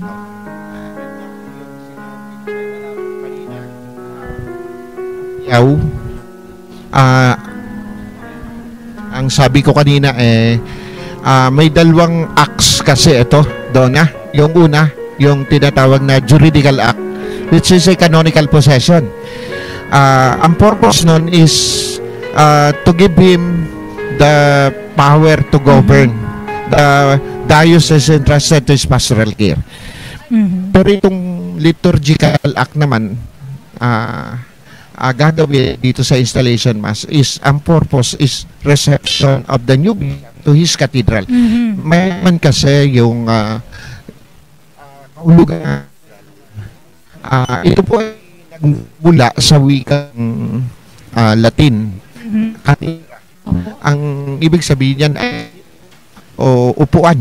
Mhm. Ah, kaya nga yung katedral ay na salitang ah, katidra o seat na siyang magiging ah, tampok sa gawain na ito sa ah, pagluluklok sa kanya Mhm. sa kanyang upuan o katidra or chair Mhm. no? at yun yung yaman ng installation liturgical act at magandang sabihin na ito ay first mass ng bishop with the clergy and with the people of God Mm. kaya represented lahat tayo dito ngayon, no? Pare, madre, uh, religyoso, laiko, leader, ah, Saka, mangingisda. lahat representation nandito, nandito. Mhm. Ginawa nating maging ah, sinudal Yan. ah, representation. At alam mo kanina, kahit doon sa kubo, Mhm. mabanggit lang natin din doon ha, na yung kubo, ang symbol din nun, hindi lamang ah, bahay ng mangyan, Mhm. symbol din yun ng core program ng Mindoro. Ayan. Yung pastoral core program po kasi ng Mindoro, eh, ang ang titulo ay Hapag ng Pamilyang Mindoreño. At ah, ang concentration ng program na yun ay pamilya Mhm. tahanan. Tahanan ng Mindoro at pamilyang Mindoreño. Tapos, meron ding simbolo yung kanina na ah, kung bakit ang ginamit kubo Mhm. sa pagtanggap. Kasi yung synodality, synodality sapagkat ah, magandang pansinin na ang synodality ni Pope Francis ay nag-aganyaya na tayo ay isang simbahang nakikinig, Mhm. ah, nakikilakbay Right. nakikipagniig. Mhm. Hindi lang nakikinig, nakikiniig. Wow. At Mhm. ah, nag, nag, naghihiwatig kung ano ang, ang, ang ipinapahiwatig ng Diyos sa ating mga napakikinggan at sa ating pakikipagniig o encounter sa mga tao. At yung, yung encounter na yon kanina sa mga sa pagtanggap sa simula, ah, sinudal ah, na sinudal ang concept namin, no? Na ah, ang mga nasa lalayan ng lipunan, lalo na ang mga katutubong mangyan, ang dapat bigyan pansin at pahalaga ng simbahan, lalo ang pamumuno ng isang obispo. At uh, Father Vic, ano, hindi natin na kakalimutan banggitin ang unang bispo mula sa Mindoro and dito din Bishop Buenaventura Famadico of, o Bishop Ben ano po at uh, dito po sa Santo Niño, Santo Niño Cathedral Opo. ay, uh, Oo. nakikita rin natin ang isa sa pinakamalaking pipe organ sa Pilipinas Yeah, at, dito uh, sa cathedral At natin. bagong ano ito, bagong ah, what do you call that? Ah, ni ni ni ni-recover to kasi ah, for the longest time Mhm. hindi na ito functional, hindi operative yung organ na to. At one of the oldest pipe or- organs sa Pilipinas to. Yes. Ka- galing pa ito sa German priests Mhm. ng SBD na unang nandito, nag-mission sa Mindoro. Mhm. At German, ano ito, brand. Right. Kaya napakaganda. Uh, the, siguro mga last June lang ito naging na na, na re, re ano ba to na uh, re, reinstall na reinstall kasi ang ang tagal ng repair. Kasi Talagang- German ano ito? Oo. And tut oo. Sa atin hindi pa nakakaparito sa Mindoro, ikalendari mo na po yung pagbisita para ah, makapunta kayo dito sa mga binabanggit natin, no? Father Vic kanina oo. na mga bahagi ng ah, makasaysayan at pinagpalang araw na to ng Solemn Mass of Meron isang magandang ano rito, pansinin din na dahil ang Pope ay nasa Roma, ang kanyang representative ay yung nunsyo. Yun. Ang tawag natin po sa ating simbahan ay apostolic nunsyo. Mhm. Bawat bansa, merong representasyon ang obispo Mhm. at ah, ang Santo Papa. At Mhm. siya ay ngayon nandito, Mhm. ah, si Archbishop Cha- John Charles Brown. Brown. Oo. Papal Nuncio. At uh, magandang pansinin din sa pagkakataong ito, uh, we pray also for the mother of uh, the Apostolic Nuncio kasi Mhm. last week namatay ang kanyang mama, mother. Mhm. So, he went all the way to America. Mhm. no? And then, went back last Tuesday Mhm. just in time for this uh, installation mass of Bishop Moy. Mm, ganyan. Kaya kaya actually eh, uh, nakakatuwa na sa si Nuncio bilang representative ng ating Santo Papa eh parang nandito na rin ang Papa sa ating Ayun. uh, piling ha. Oo. Talagang ganyan ang buhay, no? Ng Oh, yes, naglilingkod. yes. At uh, Father Vic, madagdag natin, ano, si Bishop mo, yung kanyang pamilya, noong 2020, dahil panahon ng pandemya, ay hindi nakapun... Uh, auxil- kung hindi ako nagkakamali. At nung panahon na yun ay ah, pinakiusapan mismo no na sa para sa public health no dahil panahon ng pandemya medyo nagsakripisyo yung pamilya ni um, Bishop Moy kaya ngayon tayo ay ah, excited din no nakarating. na wini- Oo, wini-welcome natin ang pamilya Oh, bata, ni Bishop Moy oh, dapat nating ah, ah, sabihin din na ah, yung kahandaan ng isang consecrated bishop Mm. na i- ilagay o install, iluklok Mhm. sa kahit saang ah, dako ng ah, ah, dioceses ng Pilipinas. No? Ayun. Kaya makita natin yung kahandaan niya kasi Mhm. he came all the way from Zamboanga. Mhm. Tapos auxiliary bishop po siya ng Zamboanga. Mhm. Tapos ah, biglang dumating yung appointment letter ng Papa Mhm. na siya ay magiging obispo naman sa Apostolic Vicariate of Calapan. So you see yung dislocation niya Mhm. so to, so to speak no na yan ang vow of uprooted no uprooted pari, ah, ano? from Zamboanga Mhm. to Mindoro. Mhm. Ah, At alam natin na naging napaka madetalyado, no? Ah, ah. Talagang very tedious yung process ng pagpili kay Ah, ah. Bishop Moy. ah, ah. Ah, mahabang proseso din po 'yan, no, Father? Yes, yes. I, we are about to start the mass, no? We are about to start the mass. So, uh, the bishops are all lined up here. Mhm. And uh, Bishop Moy is already with the nuncio. So, ang paglakad dito mamaya ay mauuna yung uh, mga obispo. Uh,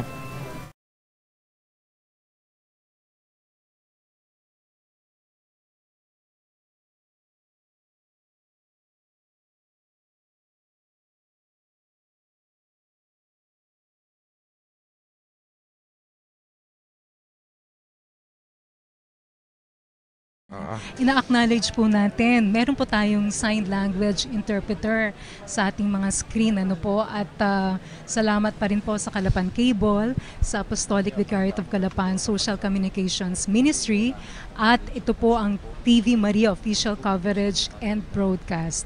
Marami pong salamat sa inyo.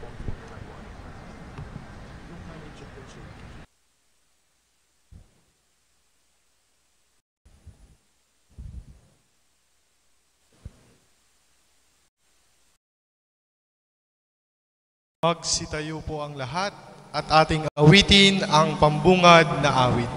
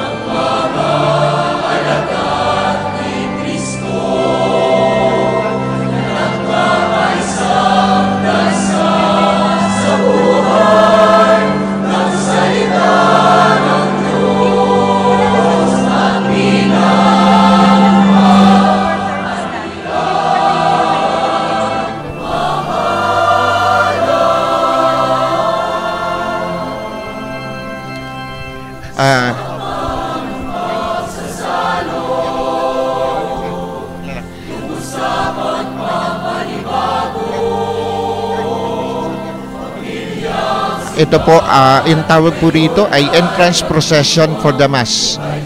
Ah, makikita po natin may halos uh, himigit kumulang apat na pong obispo mula sa iba't ibang ah, dioceses at archdio, uh, archdioceses ng ah, Pilipinas ang nandito.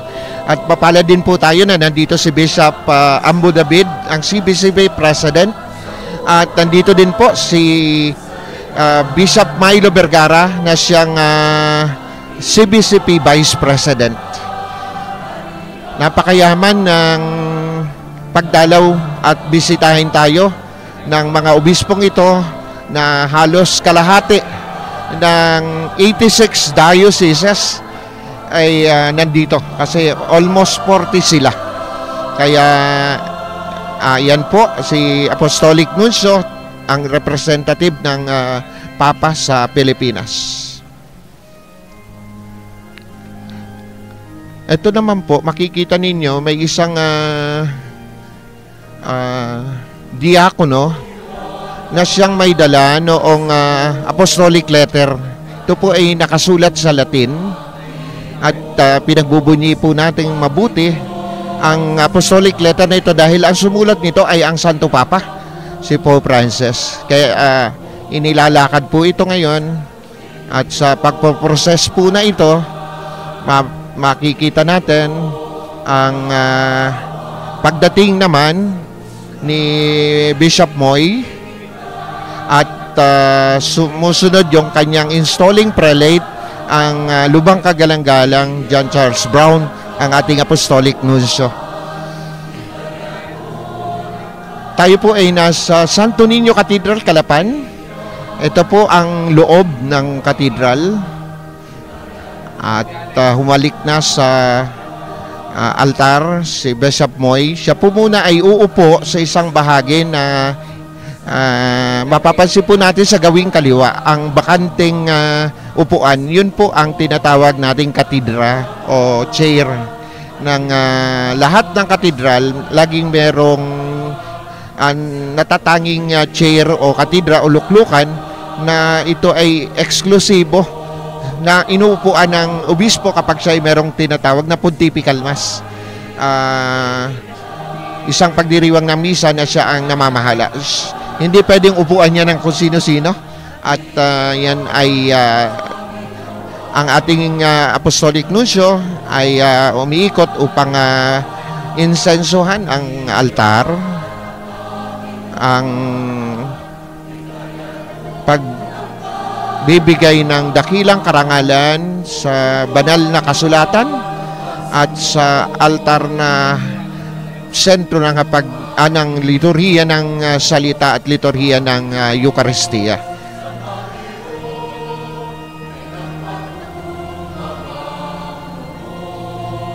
Matatandaan po natin na si, Bis- ah, si Archbishop Brown ay isang ah, Amerikano ah, na siyang ah, sinugo ng ah, Santo Papa bilang kanyang ah, kinatawan dito sa bansang Pilipinas.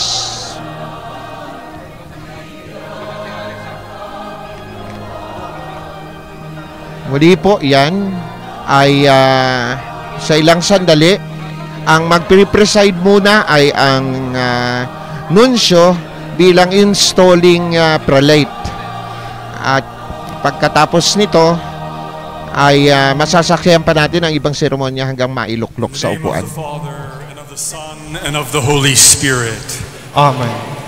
Peace be with you. And with your spirit. Let the apostolic letter from the Holy Father be read.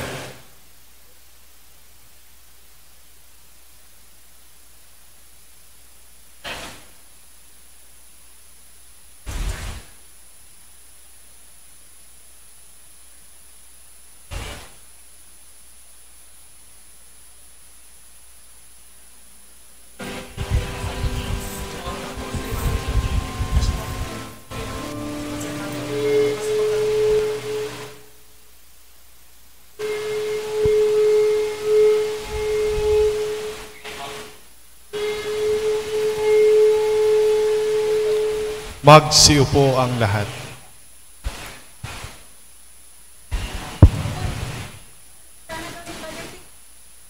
Francisco, Obispo, lingkod na mga lingkod ng Diyos.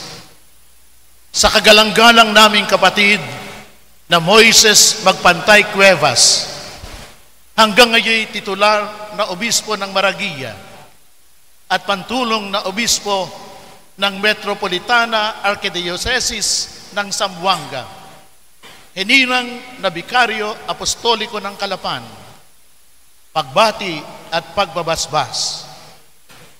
Sa pagbibigay ng buong patotoo ng mga apostol na ang mga kapistahan ay minaram, minamarapat nating ipinagdiriwang ang Diyos na nakakasiliksik at nakakadalisay ng mga puso at nagkakaloob ng banal na espiritu ay tuloy-tuloy na hinirang din tayo upang maging tagapagpahayag ng mabuting balita upang sa pamagitan ng ating bibig ay marinig na mga tao ang salita at sumampalataya.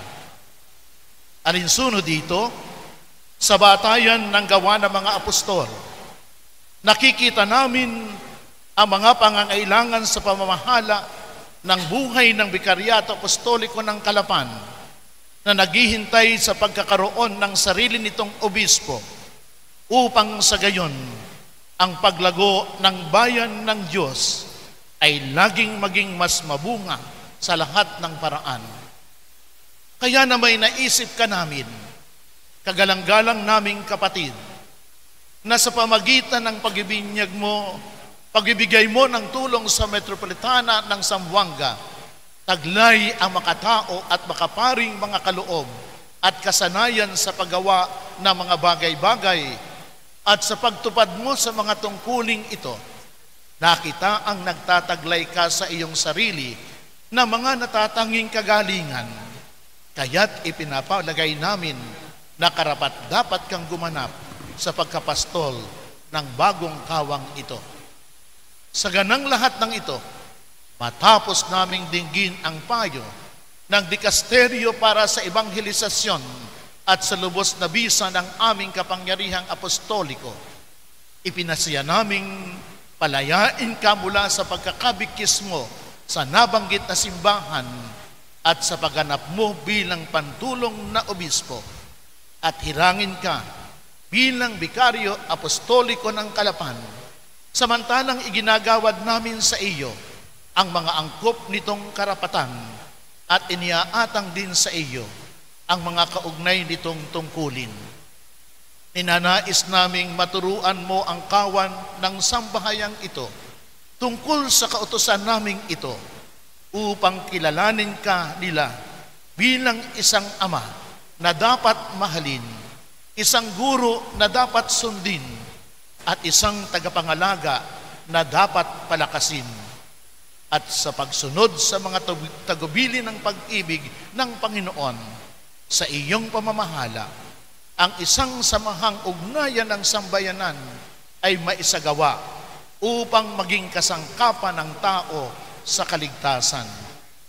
Ibinigay sa Roma, Lateran, sa ikadalawamput siyam na araw ng buwan ng Hunyo, sa dakilang kapistahan ni San Pedro at San Pablo, mga apostol, sa taon ng Panginoon, dalawang libo at dalawamput tatlo, ang ikalabing isa ng ating pagiging Papa. Francisco. Kaya't ipagbunyi natin ang Panginoon.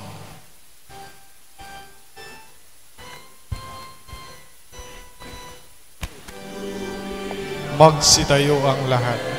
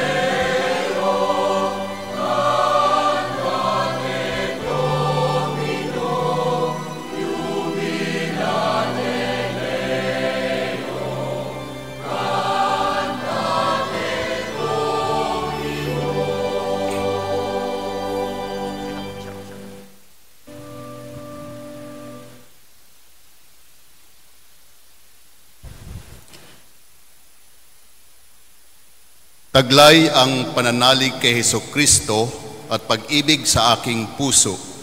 Tinatanggap ko po ang pangangalagang pastoral sa bayan ng Diyos sa Apostolic Vicariate of Calapan. Ipinangangako kong matapat na paglilingkuran ang lokal na simbahan ng Kalapan bilang nagmamahal at nakikinig na ama.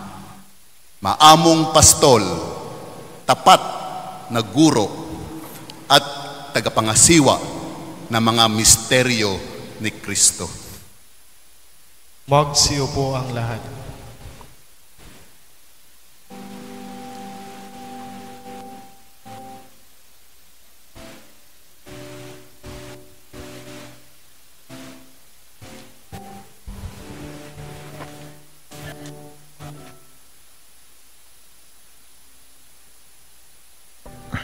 Magsitayo. ay kinuha ni, Bis, ni Apostolic Nuncio at iniupo na si ah, Bishop Moises Magpantay Cuevas bilang ikaapat na Apostolic Vicar of Calapan at siya po ngayon ay ah, opisyal, formal at napakaganda nandito po ngayon ayon sa aming kasunduan sa pagkakaupo niya po ito tamang-tama 9.30 meron po kaming usapan lahat ng apat na pong parokya na sabay-sabay ang pagtugtog ng kampana.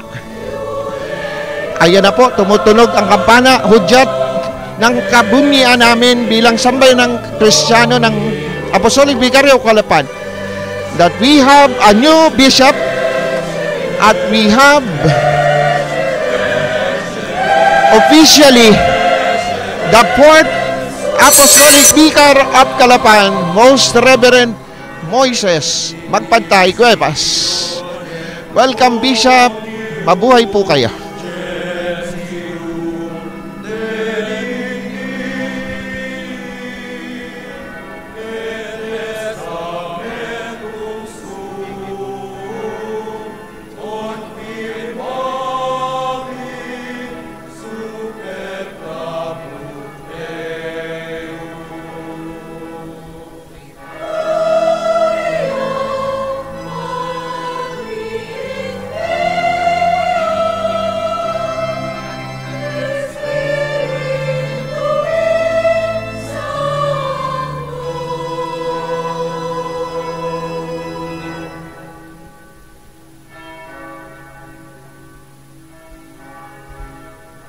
Magsiyo po ang lahat.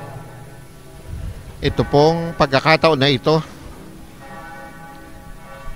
ay isang napaka mahalagang bahagi. Ito po yung pag bibigay Ang pugay pagpupugay sa obispo bilang ng pagtanggap sa bagong obispo. Pero meron po symbol kaming ginawa na sa halip na ah, mga big time VIPs ang unang magbibigay ng homage and greeting kay Pope, ah, kay Bishop Moy ay ah, ah, mga synodal representatives. Sila po yung mga kinonsulta doon sa sa synodal child consultation sector. process. At mapapansin po natin James na hindi Branham. namin ginawa yung traditional na lalapit yung mga magbibigay pugay sa kanya at paggalang kundi si Bishop po ang bumaba Mula sa representation. youth sector, Joan Habanos. hindi po ang isang pastol sabi ni Pope Francis ay dapat ah, mga moy tupa kaya siya po mismo ang bumaba. sector, hindi po siya ang nilapitan sa kanyang ah, makapangyarihang upuan. Mula Real time din po yung kanilang pananamit upang ipakilala yung sektor na kanilang District, nire-representa. May represento ng mga manggagawa, mga mangingisda, magsasaka, pamilya, mangyan, mga. LGUs, yan, nandiyan sina Congressman Arnan, Governor Bons, si Mayor ah, Malu, Mula sa agriculture sector, Morel Bool. At ito rin po ngayon yung ah, nasa ating sektor mula sa LGBTQ sector Kahit po LGBTQ, Yes. meron po silang representation. Ito po ay magsasaka. Mula Ngayon po, LGBTQ. Jacinta Community. Mintaras mula sa Alangan. Marlene Agayhay mula sa Isang Harnum. bata. Isang bata. Dayan Naig Dayayag mula sa Bamon. Mga mangyan, isang pamilya ng mga mangyan. Mula sa Citizen elderly Sector. mangyan, matandang mangyan. Barrientos. Andun din at Mula nagre-representa. sa PWD sector, Gina Katapat.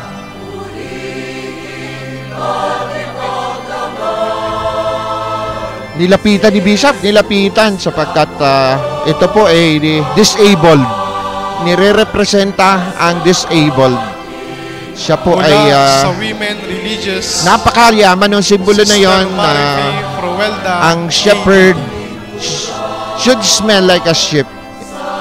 Representative po ng Mula sa women ah, fathers religious o consecrated persons.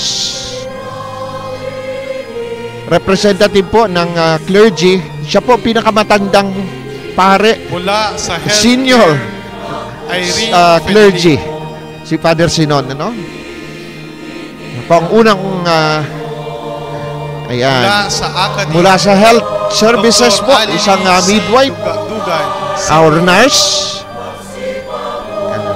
sa academe, siya po ay ah, Mula sa Vice President for Academic Affairs ng. Divine Word College of Calapan. Mula sa business sector, Celeste Luna. Sa Council of the Lady of Calapan, President. Ito rin po At yung mula ah, sa police sector, Police Major Christian A. Marquez, Chief of the Community Affairs. mula sa mga military, PNP. Ito po yung magre-represent ng kan- kanilang hanay.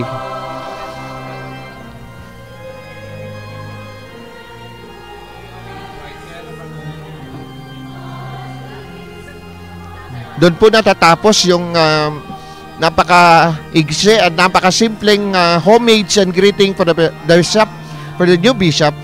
Ah, ulitin po namin, ma, binago itong ah, mula sa tradisyon upang ah, idiin yung ah, sinudal representatives ang mag-unang magbigay ng homage at greeting kay Bishop. At siya mismo ang bumaba, hindi siya ang lalapitan sa kanyang upuan. Napakayaman nito. At ngayon po ay magsisimula na ang Mass as usual. Ito po yung Gloria, luwalhati sa Diyos. Ang nagpipreside na po nito ay si new, the fourth apostolic vicar, our new bishop for the apostolic vicariate of Calapan. Siya na po ngayon, inilipat na sa kanya ang pagpe-preside ng celebration ng misa. Maraming salamat po. Makisa po tayo ngayon sa banal na misa at patuloy po kayong sumabaybay sa TV Maria. Maraming salamat po sa inyong lahat. Muli po ako po si Donna Virola mula sa Apostolic Vicariate of Calapan Media Ministry at si Father Vic Oy. ang judicial vicar po ng Apostolic Vicariate of Calapan. Proud to be Mindoreño, proud to be Mangyan. Magandang umaga po.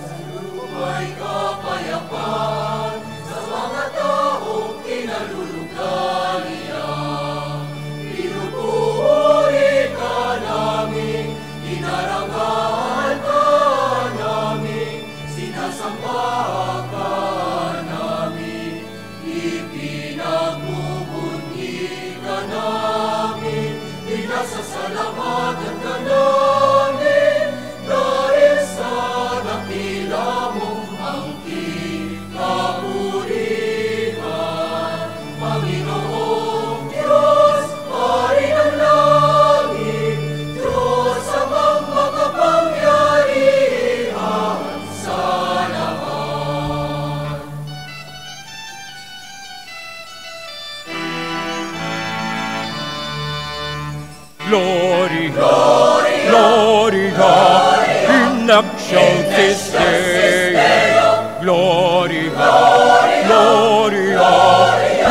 excelsis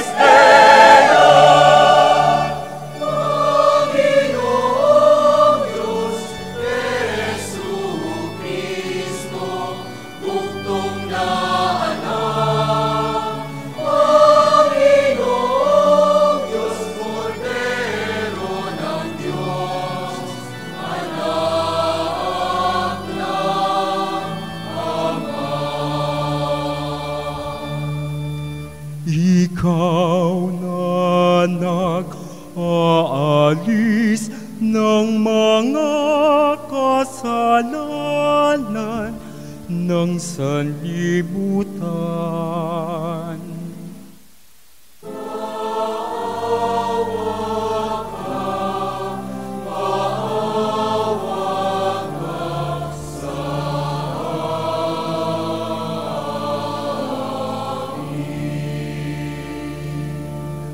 Ikaw na nag-aalis ng mga kasalanan ng sanlibutan.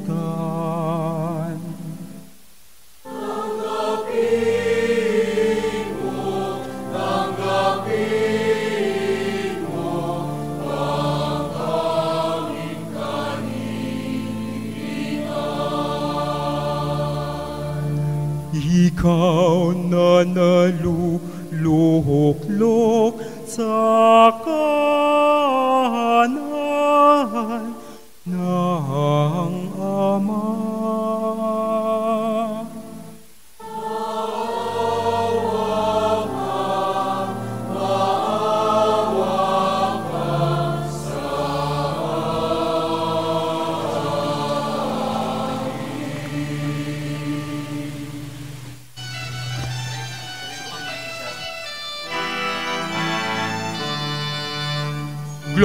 Gloria, Gloria, in excelsis Deo. Gloria, Gloria, in excelsis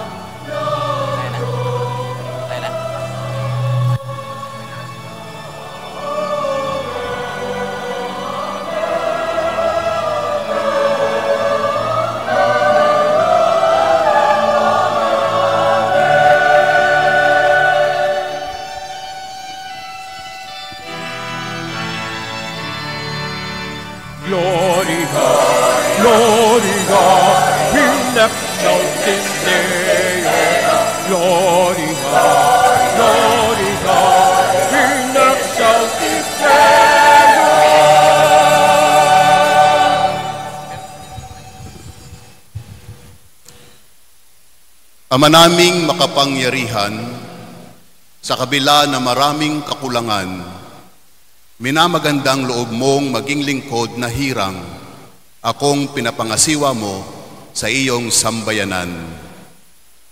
Ipagkaloob mong marapat kong magampanan ang tungkuling iyong inaatang para pangasiwaan ang iyong bayan na iyong pinamamahalaan sa pamamagitan ni Heso Kristo kasama ng Espiritu Santo magpasawalang hanggan. Amen. Magsiupo ang lahat.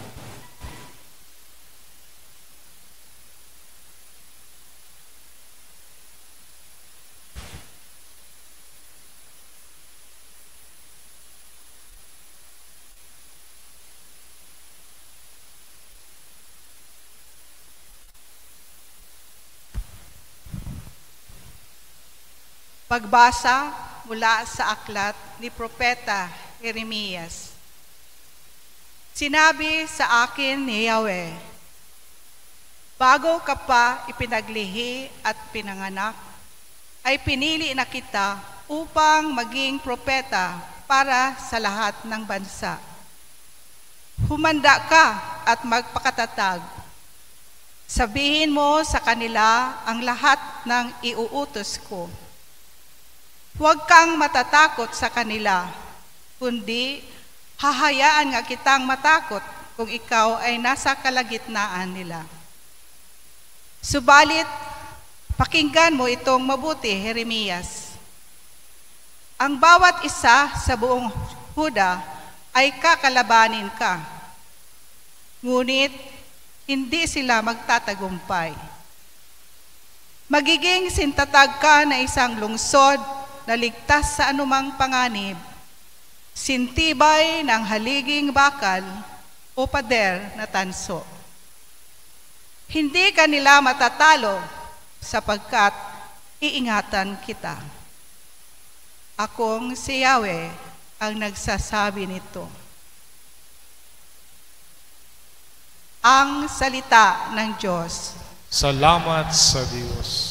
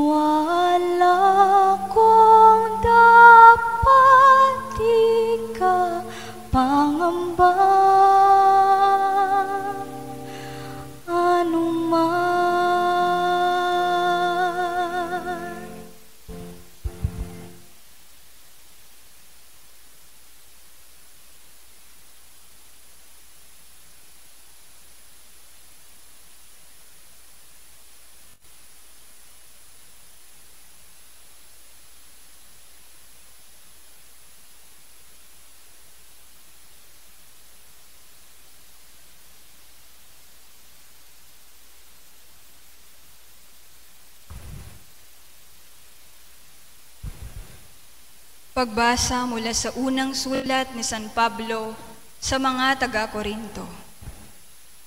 Dapat ninyong kilalanin na kami mga lingkod ni Kristo at katiwala ng mga hiwaga ng Diyos. Ang katiwalay kailangang maging tapat sa kanyang Panginoon. Kaya't huwag kayong humatol nang wala pa sa panahon. Maghintay kayo sa pagdating ng Panginoon. Siya ang maglalantad ng mga bagay na ngayoy natatago sa kadiliman at maghahayag ng mga lihim na hangarin ng bawat isa. Sa panahong iyon, bawat isa'y bibigyan ng Diyos ng angkop na parangal. Mga kapatid, kami ni Apolos ang ginamit kong halimbawa para sa inyong kapakinabangan upang matutuhan ninyo ang kahulugan ng kasabihang huwag lalampas sa nasusulat. Huwag ninyong ipagmalaki ang isang tao upang hamakin ang iba. Paano kayo nakakahigit sa iba? Hindi ba't lahat ng nasa inyo'y ibinigay lamang sa inyo ng Diyos? Kung gayon, bakit ninyo ipinagyayabang iyon na parang hindi kaloob sa inyo? Ang salita ng Diyos. Salamat sa Diyos. Magsitayo po ang lahat upang magbigay galang sa mabuting balita.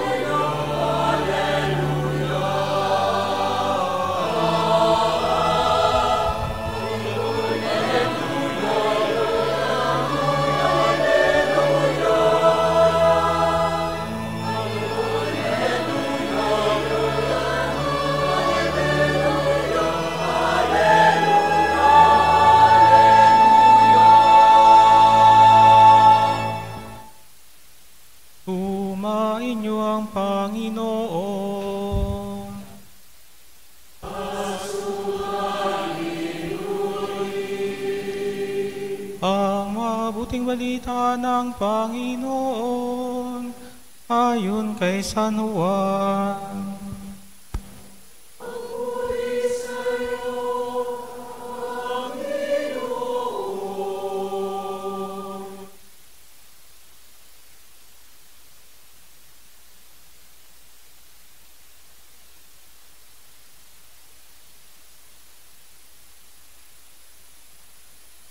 Pagkatapos nito, muling nagpakita si Jesus sa mga alagad sa tabi ng lawa ng Tiberias. Ganito ang nangyari. Magkakasama sina Simon Pedro, Tomas na tinatawag na Kambal, Natanael na taga-Kana sa Galilea, ang mga anak ni Zebedeo at dalawa pang alagad. Sinabi sa kanila ni Simon Pedro, Mangingisda ako, sasama kami sabi nila. Umalis nga sila at sumakay sa isang bangka. Magdamag silang ng isda, subalit wala silang nahuli. Nang mag-uumaga na, tumayo si Jesus sa pangpang, ngunit siya'y hindi nila nakilala. Sinabi niya, Mga anak, mayroon ba kayong huli? Wala po, sagot nila. Ihulog ninyo ang lambat sa gawing kanan ng bangka at makakahuli kayo, sabi ni Jesus. Inihulog nga nila ang lambat at ang hilahin nila ito ay hindi nila makaya sa dami ng huli.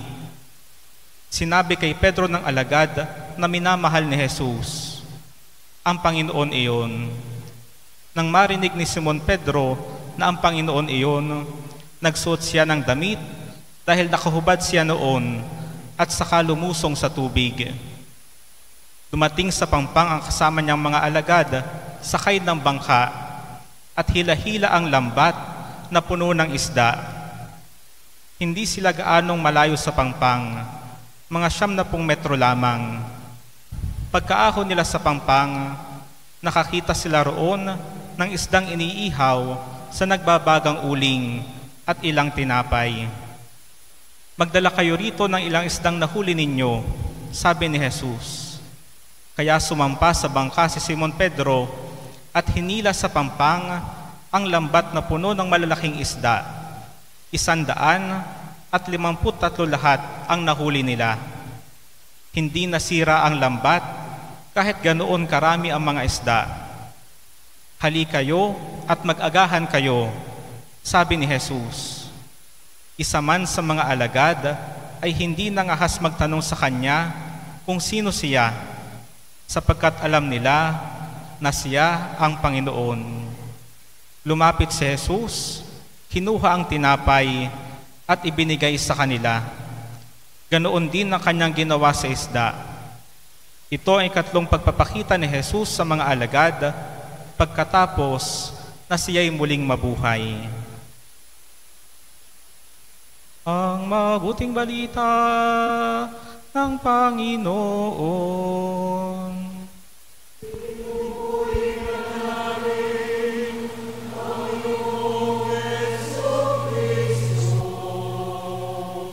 Manatiling nakatayo. Tayo ay mag-aantanda ng krus habang iginagawad ng mahal na obispo ang pagbabasbas.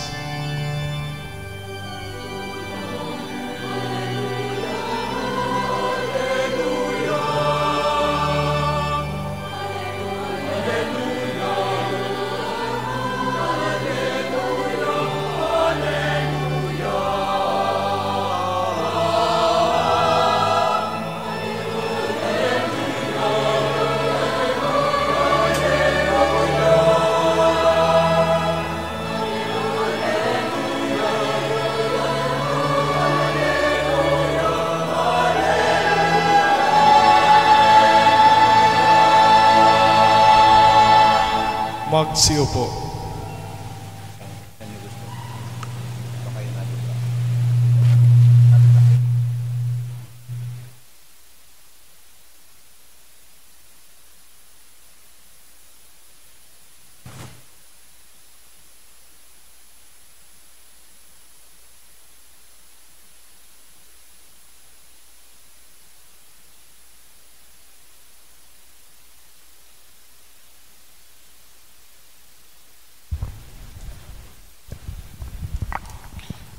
Welcome to Kalapan.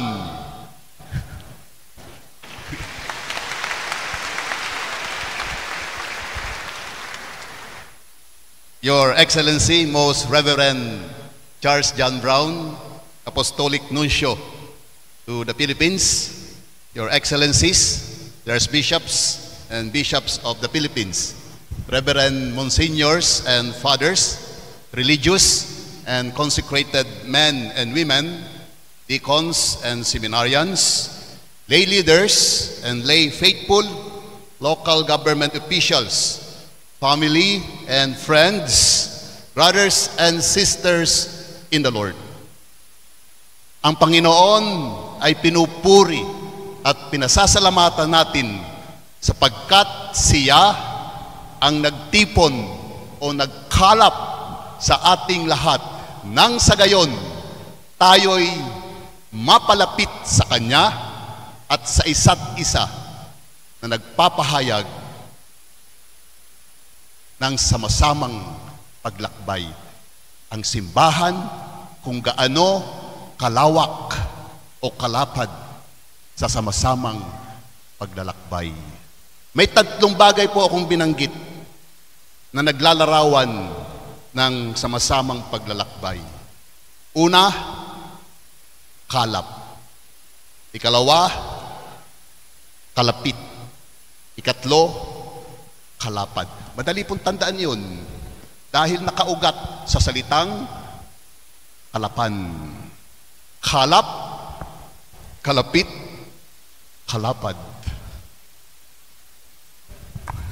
Una, kalap.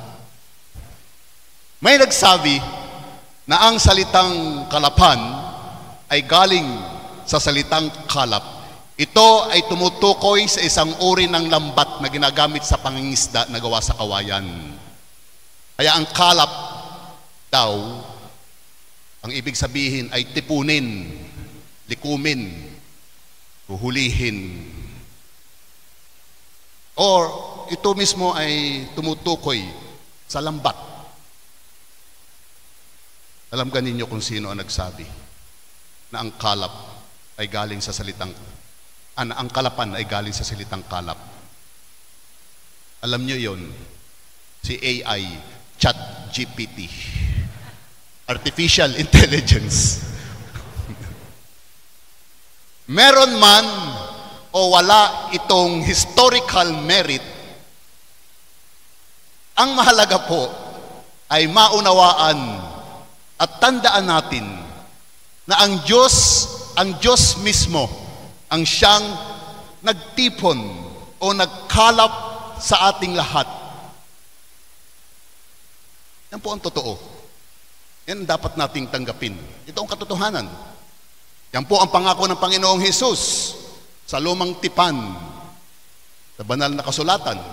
Yan din po ang ginanap o ginawa o pangako o ang pangako ng Panginoon sa lumang tipan. At yan ang ginanap o ginawa ng Panginoong Hesus sa Ebanghelyo at ipinalaganap sa bagong tipan sa banal na kasulatan.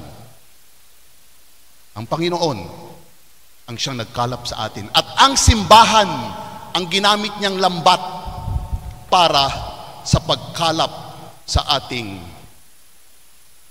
siya ang nagkalap sa akin galing sa Batangas patungong Sambuanga noong ako po ay labing pitong taong gulang pa lamang. At siya rin ang nagkalap sa akin parito sa Mindoro galing sa Sambuanga pagkatapos ng tatlumput tatlong taon. At siya ang nagkalap sa ating lahat dito sa Bikaryato ng Kalapan habang tayo ay tinatawag na sama-samang maglakbay sa landas ng kabanalan. Ito ang kaloob ng Diyos. Ito ang kagustuhan ng Panginoon. Ito ang kanyang hangad. Kaya, hindi tayo niya pababayaan. Kaya, tayo ay kanyang papatnubayan. Ganito po ang karanasan ng mga apostol sa Ebanghelyo. Sa mga sandali ng kawalan, wala silang nahuling isda, walang nakalap, walang natipon. Hindi sila pinabayaan ni Jesus. Sa halip, ay pinatnubayan sila ni Jesus sa pamamagitan ng kanyang salita. Ihulog ninyo ang lambat sa gawing kanan ng bangka at makakahuli kayo. Pwede nating ihalintulad sa mga apostol ang bikaryato ng kalapan sa ilalim ng pagpapastol ng mga obispo na itinalaga dito, lalong-lalo na ang ating obispo na si Bishop Warlito Kahandig. At kabilang dito si Father Nestor Adalia na sa kanilang pangangalaga nagpakita na handa ang bikaryato pakinggan ang mga salitang ito. Simbahan ng kalapan, ihulog ninyo ang lambat sa gawing kanan ng bangka at makakahuli kayo. Yung gawing kanan ho sa Panginoon utos, yung gawing kaliwa sa atin. Yung gusto natin, yan nasa kaliwa, lagi yung nasa kaliwa iyon. Nawawala. Ang nasa kaliwa, nawawala. At ito ay napakagandang halimbawa na nagpapakita na sa pamamagitan ng paniniwala at pagsunyod sa kanyang salita, ang ating pastoral na pro- pro- programa ay magiging mabunga. Siyempre po, kailangan nating italaga ang ating sarili, magsikap sa mga gawaing pastoral, kailangan yun. Subalit, ang mensahe sa ating lahat ay ito. Ang tunay na tagumpay ang ating misyon ay nakasalalay sa kalooban ng Diyos, sa salita ng Diyos. Kaya nga po, ang kailangan ay pananalig at pagpak- pagpapakumbaba sa salita ng Diyos, sa pagsunod salita, sa salita ng Diyos. Na siyang nagkalap sa ating lahat at nagbibigay katiyakan na ang ating lambat ay mapupuno. Simbahan ng kalapan, ang ating lambat ay mapupuno. Ang Panginoon ang siyang nagpupuno kaya ko nasabi, hindi naman si Bishop Moy ang magpupuno. Hindi naman ang mga pare, ang Panginoon. Ang Panginoon po ang siyang nagpupuno sa ating pangangailangan, sa ating kakulangan, at sa ating kawalan. Ikalawa, kalapit. Ang sunod po sa kalap, dahil kinalap na eh, ilalapit na. Kalapit. Kaya nga tayo ay kinalap o tinipo ng Panginoon upang tayo ay may kalapit sa paglalakbay. Nang sa gayon, ang ating sari-sariling paglalakbay ay maging sama-samang paglalakbay. According to to the late Pope Benedict XVI, the power of the Holy Spirit is the power to gather.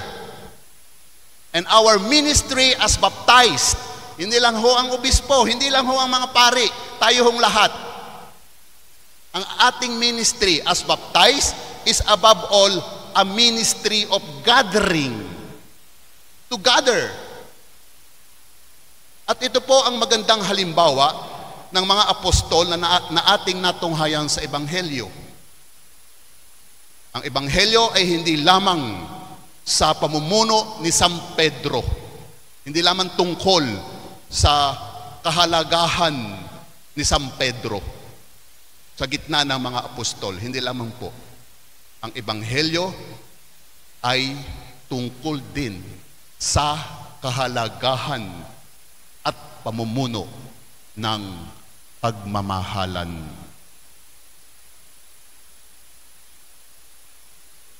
Ano ba ang ginawa ng mga apostol sa mga sandali ng kawalan? Simple lang po. Simple, pero mahirap gawin. Ano? Sila ay nanan- nanatiling magkakalapit. Yun lang. Simple. Noong walang-wala, nanatili silang magkakalapit, hindi nagiiwanan. Napakasimple lang, pero napakahirap ho na yung gawin. Di ba?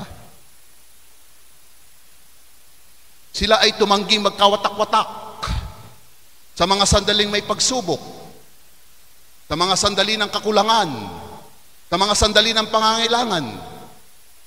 Magkakalapit ho sila.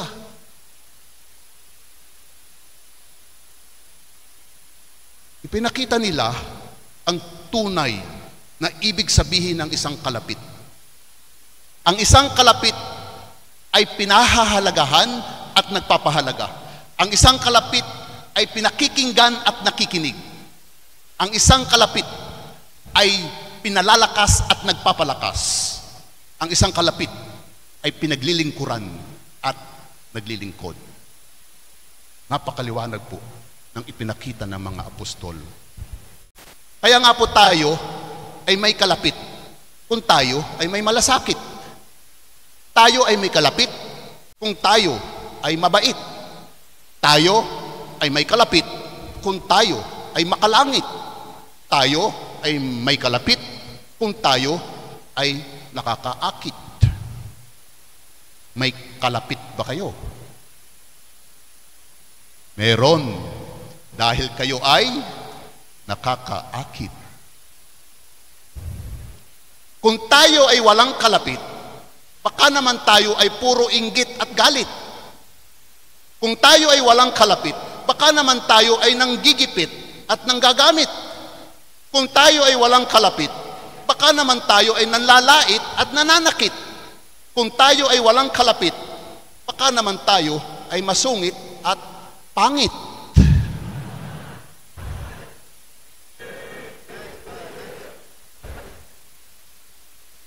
Wala ba kayong kalapit? Wala. Dahil baka naman po tayo ay masungit at pangit. Pangit ang ugali. Ang ugali.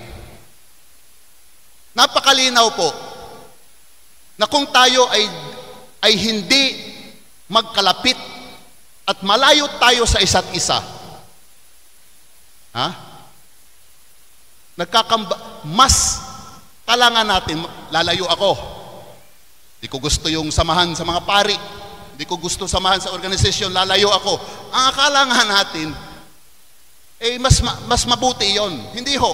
Mas nagkakambanggaan. Mas nagkakamba, nagkakabanggaan ang ating mga plano at programa. Hindi nagkakalapit. Meron pa. Meron pa ho yan. Siyempre po, matamlay ang ating pagkilos. Dahil wala tayong kalapit tamlay kung walang kalapit. Meron pa ho, naliligaw ang ating mga pagsisikap at nagmumukha tayong magkakalaban. E pare-pareho tayo ng bestment na napakaganda eh, tapos eh, nagmumukha tayong magkakalaban. Hindi ba? Galit sa mundo. Dahil magkakaiba nga ang ating direksyon. Napakaganda po kung tayo ay magkalapit. Dahil, ha, tingnan ninyo, kung tayo ay magkalapit, sama-sama ang ating pagkilos, sama-sama nating ginagampanan ang ating pananagutang, isinaasalang-alang natin ang pagkilos ng ating mga kasamahan. Ang ating ginagawa ay kaugnay ng ginagawa ng iba at at ang ating pagsisikap ay tugma sa kabuuan ng misyon. Yun ho, napakalaki nandoon, nakasulat. Napakaganda. Yun, ang kabuuan. Alam ganin nyo ang tawag dito. Ang tawag dito ay co-responsibility and mission. Mababasa natin yan sa Instrumentum Laboris for the Synod of Bishops on Synodality. is coming over. Assignment, no? Ikatlo. Kung ang kasunod po ng kalap ay kalapit, ang kasunod naman ng kalapit ay kalapad. Tumutukoy ito sa ating misyon. Question. Question. Gaano kalapad ang ating misyon? Gaano kalapad? 153. 153. Isandaan at limamput tatlo. Ganyan ho kalapad ang ating misyon. Bakit ko ho alam? Nga doon ho yung sa Ebanghelyo. Nasa Ebanghelyo. Yun ho ang, ang bilang na nakalap na isda. Yun ho ang bilang. 153. Ayon kay Saint Jerome, it was taught at that time that there were only 153 species of fish in all the world. Nung panahong iyon, 150. Ngayon, ilan na? Mahigit na tatlong, tatlong, lib, tatlong libo? Madami. Ang ibig sabihin ay ganito, yun ho ay simbolo ng kabuuan, ah, ah, kabuuan ng sangkatauhan. At ganito kalapad ang ating misyon. Hindi lang pala sa Kalapan, hindi lang pala sa Oriental Mindoro. Ang ibig sabihin nito, ang simbahan bilang lambat ay hindi namimili. Sa simbahan, kalap ang lahat.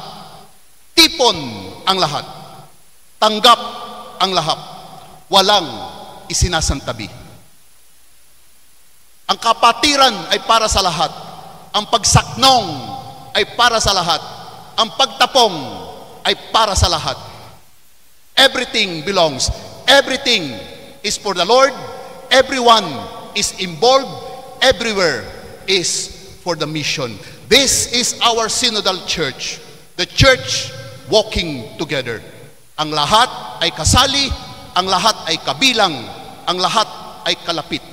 Ang sabi pa nga, ang sakit ng kalingkingan dama ng buong katawan. Ang sakit ng bulsa dama ng mga kasama.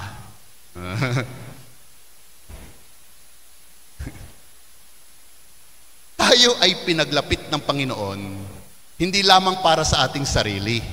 Tayo ay pinaglapit ng Panginoon hindi lamang para sa ating kalapit.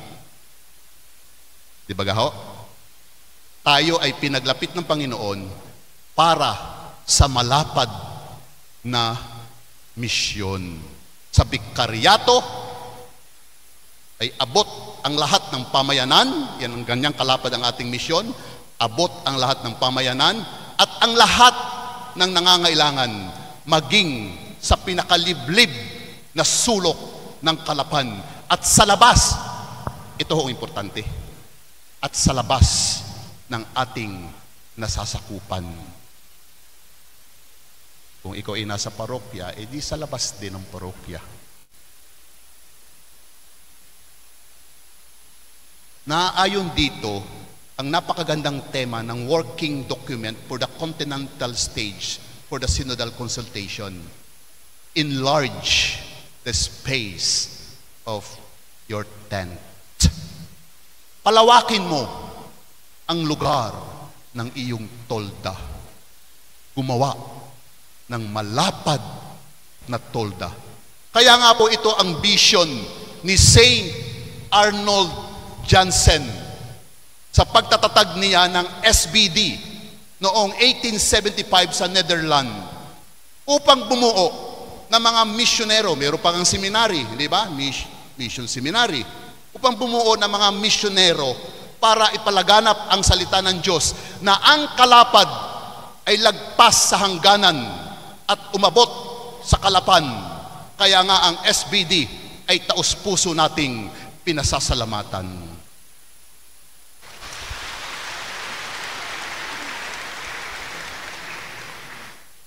Dahil dito, ang Mindoreño ay may tunay na diwang misyonero.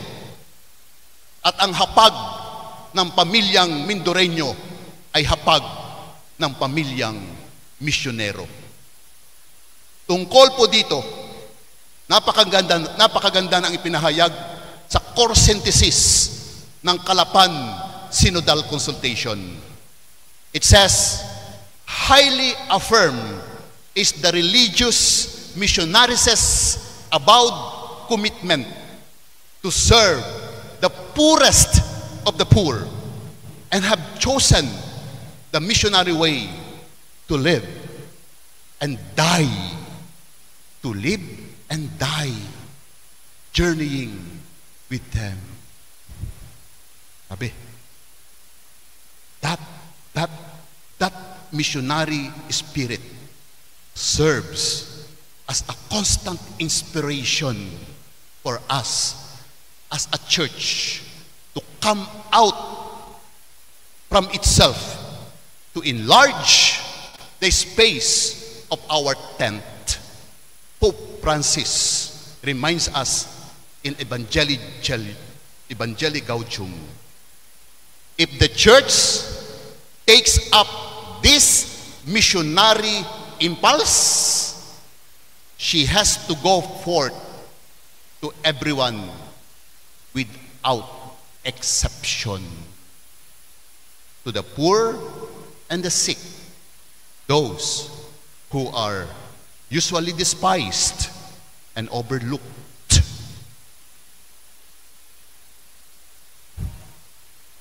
Manalangin tayo sa ating Senior Santo Niño, ang titular sa Bikaryato.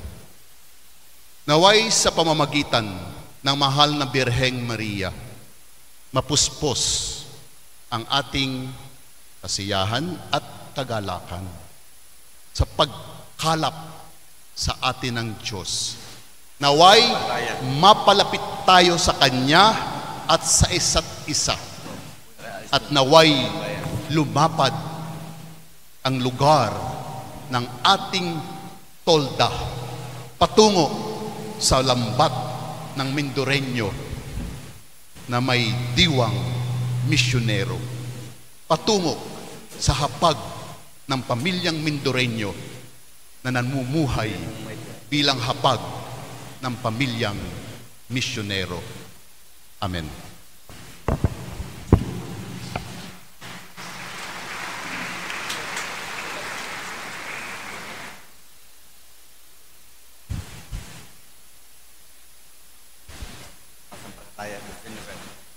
Magsitayo po ang lahat.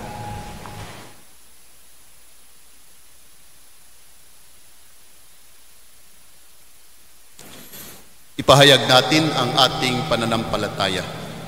Sumasampalataya ako sa Diyos amang makapangyarihan sa lahat, na may gawa ng langit at lupa. Sumasampalataya ko kay Heso Kristo, iisang anak ng Diyos, Panginoon nating lahat. Nagkatawan tao siya, lalang ng Espiritu Santo. Pinanganak ni Santa Maria ang Berhen. Pinagpakasakit ni Poncio Pilato. Pinako sa krus na matay ni Rubi. Nanaog sa kinaroroonan ng mga yumaman. Na may katlong araw na buhay na muli. Umakyat sa langit. Naluluklok sa kanan ng Diyos sa mga makapangyarihan sa lahat. Doon magmumula paririto at hukom sa nangabubuhay at nangamatay na tao. Sumasampalataya naman ako sa Diyos Espiritu Santo, sa banal na simbahang katolika, sa kasamahan ng mga banal, sa kapatawaran ng mga kasalanan, sa pagkabuhay ng muli namatay na tao, at sa buhay na walang hanggan.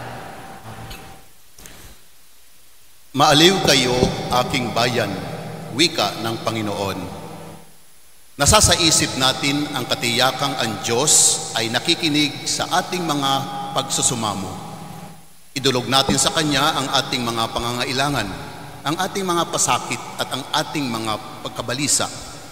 Pinapalitan niya ang ating mga pighati ng kagalakan.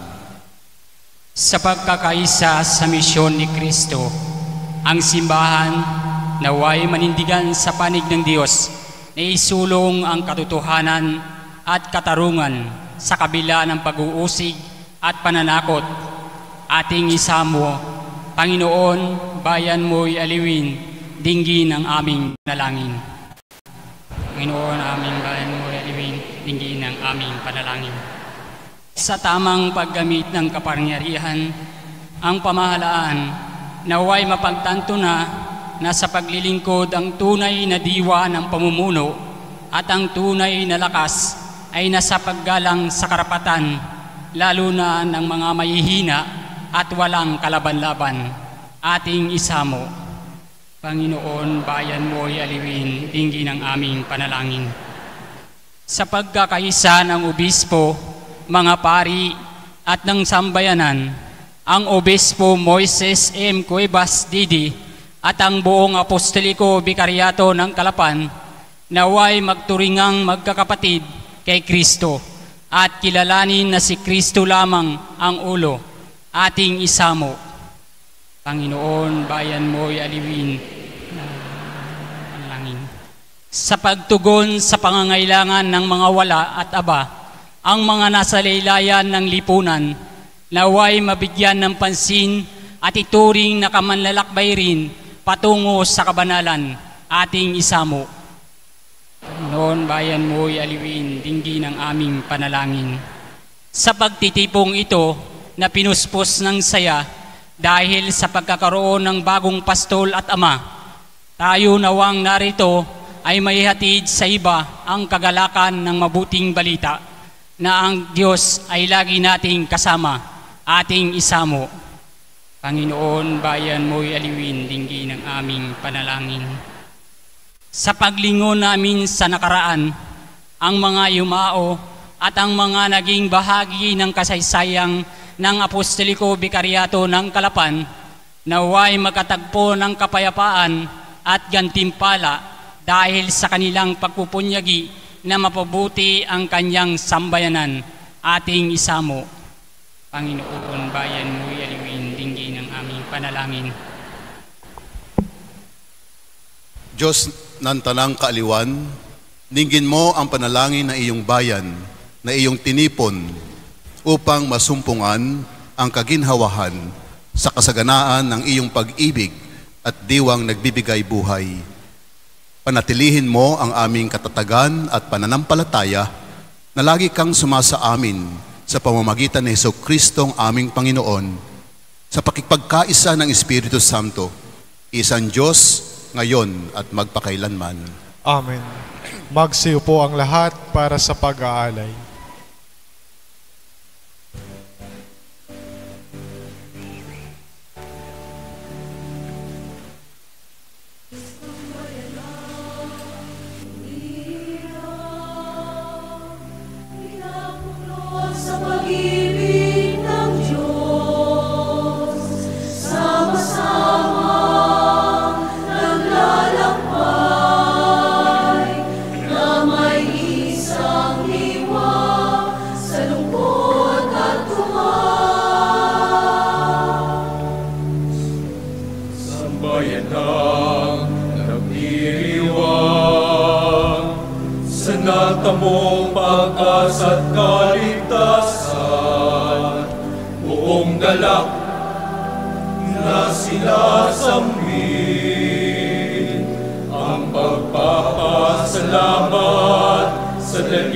oh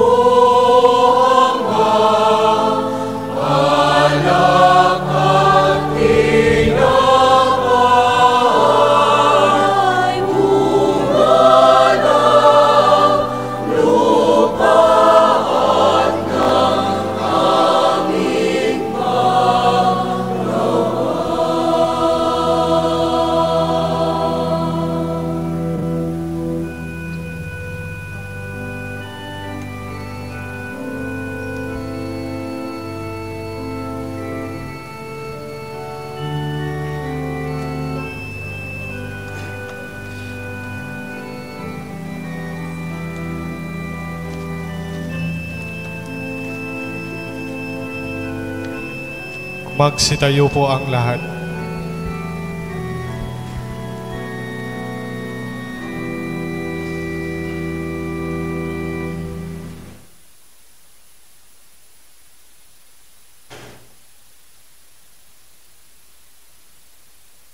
Manalangin kayo mga kapatid upang ang paghahain natin ay kalugdan ng Diyos amang makapangyarihan. Tanggapin nawa ng Panginoon itong paghahain sa iyong mga kamay sa kapurihan niya at karangalan sa ating kapakinabangan at sa buong sambayanan niyang banal.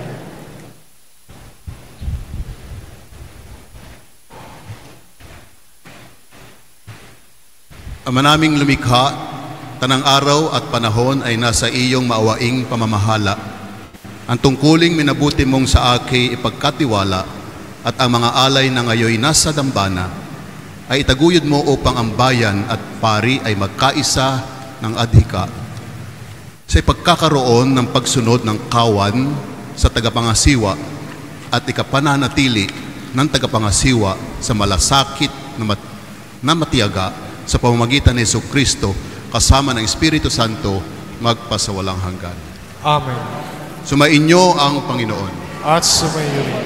Itaas sa Diyos ang iyong puso at diwa. Itinaas na namin sa Panginoon. Pasalamatan natin ang Panginoong ating Diyos. Marapat na siya ay pasalamatan. Ama naming makapangyarihan, tunay ngang marapat na ikaw ay aming pasalamatan sa pamamagitan ni Yesu Kristo na aming Panginoon. Sa paglukob ng Espiritu Santo, ang iyong anak ay naging lingkod mo upang maihain ang bagong tipang walang hanggan at ang pagganap nito'y mapasa iyong sambayanan. Itinatampok niya kaming sambayanan mo upang kami makapaglingkod sa iyo. Ipinamana niya ang kanyang ginampanan sa mga hinirang at pinatungan ang mga kamay. Sa pagsasalo sa huling hapunan, ang paghahain ng anak mong muling nabuhay ay pinangunguluhan ng mga hinirang para magmalasakit sa iyong angkang dinudulutan ng salita mo't pagkaing bumubuhay. Kaya kaisa ng mga anghel na nagsisiawit ng papuri sa iyo nang walang humpay sa kalangitan, kami nagbubunyi sa iyong kadakilaan.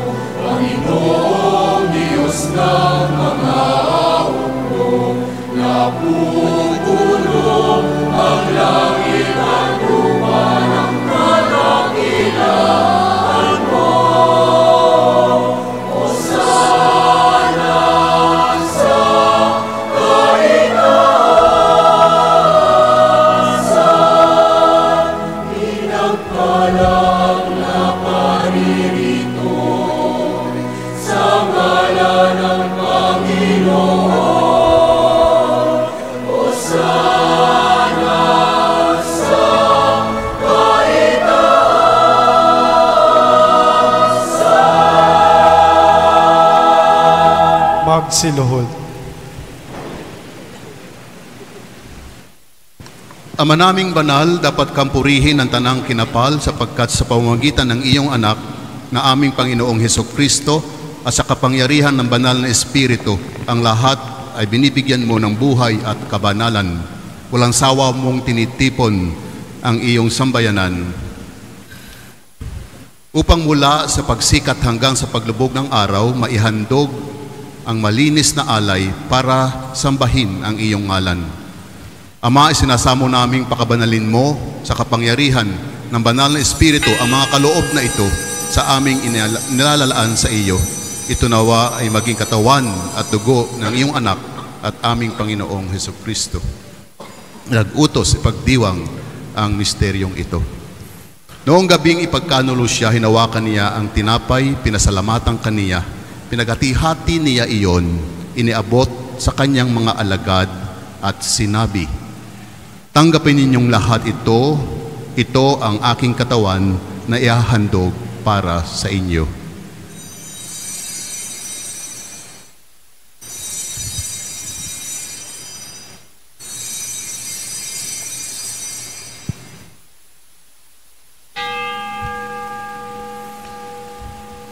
Gayon din naman, noong matapos ang hapunan, hinawakan niya ang kalis, muli kaniyang pinasalamatan, iniabot niya ang kalis sa kanyang mga alagad at sinabi, Tanggapin ninyong lahat ito at inumin, ito ang kalis ng aking dugo, ng bago at walang hanggang tipan, ang aking dugo na ibubuhos para sa inyo at para sa lahat, sa ikapagpapatawad ng mga kasalanan. Gawin ninyo ito sa pag-alala sa akin.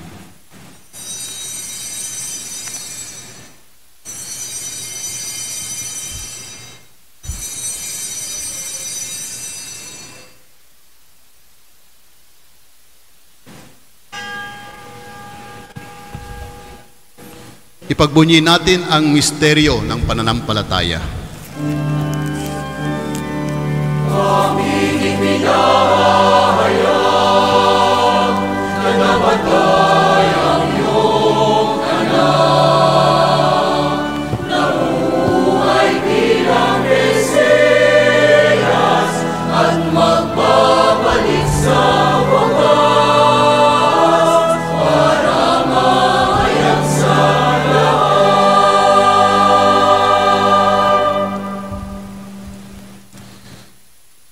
Ama, ginugunita namin ang pagkamatay na iyong anak na sa amin nagligtas, gayon din ang kanyang muling pagkabuhay at pag-akyat sa kalangitan, samantalang ang kanyang pagbabalik ay pinananabikan, kaya bilang pasasalamat, ngayon aming iniaalay sa iyo ang buhay at banal na paghahaing ito. Tunghayan mo ang handog na ito ng iyong simbahan. Masdan mo ang iyong anak na nag-alay ng kanyang buhay upang kami ay ipagkasundo sa iyo. Loobin mong kami magsasalo-salo sa kanyang katawan at dugo ay mapuspos ng Espiritu Santo at maging isang katawan at isang diwa kay Kristo.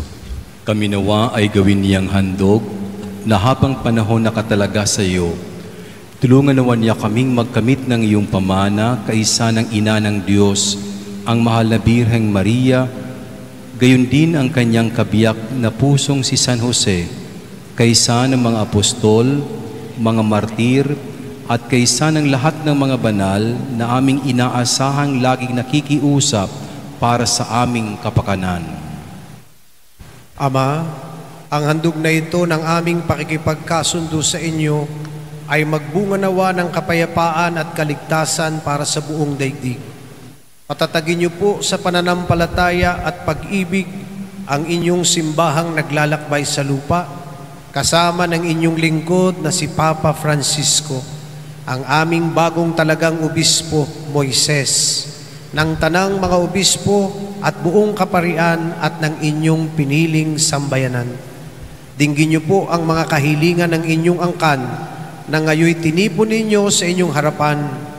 Amang maawain, kupkupin niyo po at pag-isahin ang lahat ng inyong mga anak sa bawat panig at sulok ng daigdig. Kawaan mo at patuloyin sa iyong kaharian ang mga kapatid naming yumao at ang lahat ng lumisa na sa mundong ito na nagtataglay ng pag-ibig sa iyo. Kami ay umaasang makararating sa iyong piling at sama-samang magtatamasa ng iyong kaningningang walang maliw sapagat aming masisilayan ang iyong kagandahan sa pamamagitan ng aming Panginoong Kristo na siyang pinagdaraanan ng bawat kaloob mo sa aming kabutihan. Sa pamamagitan ni Kristo kasama niya at sa Kanya, ang lahat ng parangal at papuri ay sa iyo, Diyos amang makapangyarihan, kasama ng Espiritu Santo, magpasawalang hanggan.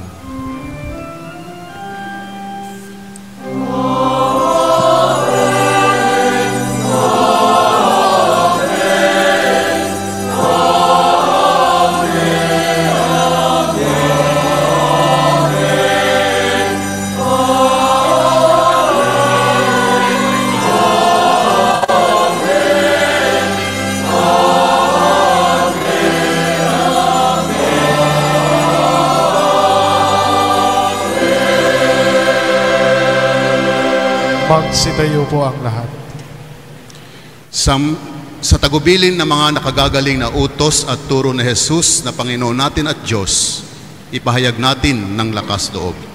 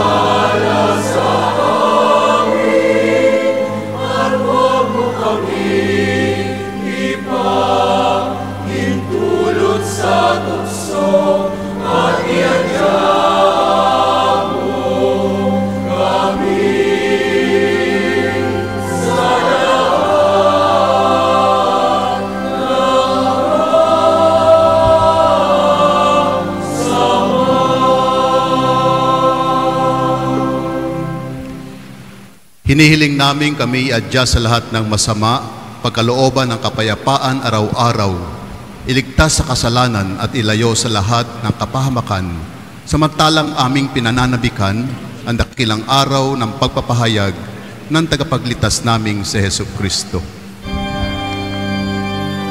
Sapagkat iyo ang kaharian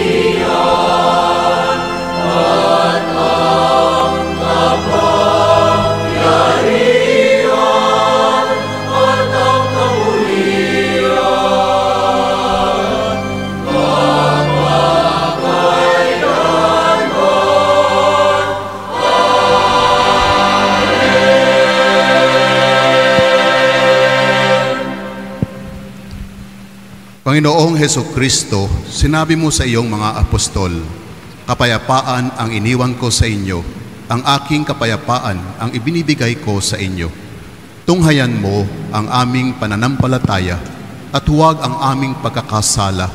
Pagkalooban mo kami ng kapayapaan at pagkakaisa ayon sa iyong kalooban kasama ng Espiritu Santo magpasawalang hanggan. Amen. Ang kapayapaan ng Panginoon ay laging sumainyo. At sumayo rin. Magbigayan kayo ng kapayapaan sa isa't isa.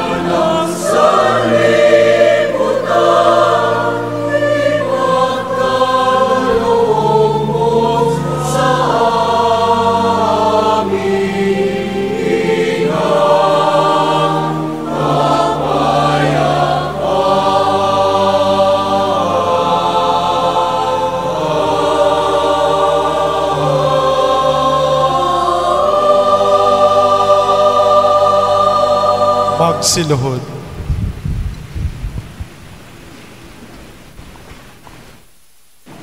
Ito ang kordero ng Diyos, ito ang nag-aalis ng kasalanan ng sanlibutan.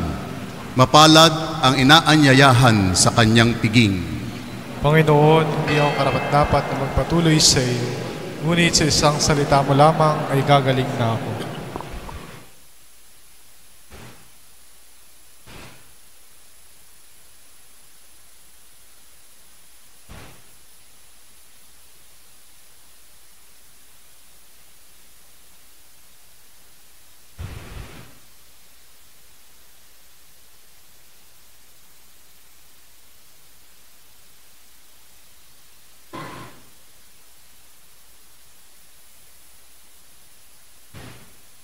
Magsiupo ang lahat at ihanda ang sarili para sa banal na pakikinabang.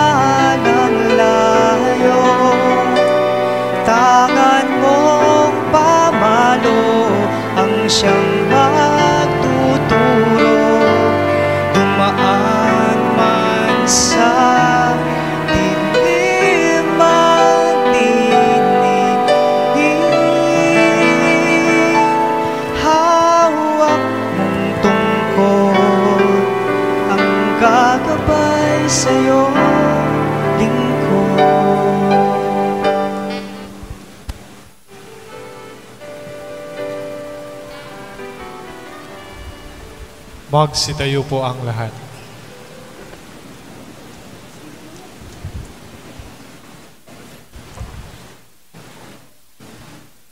Manalangin tayo.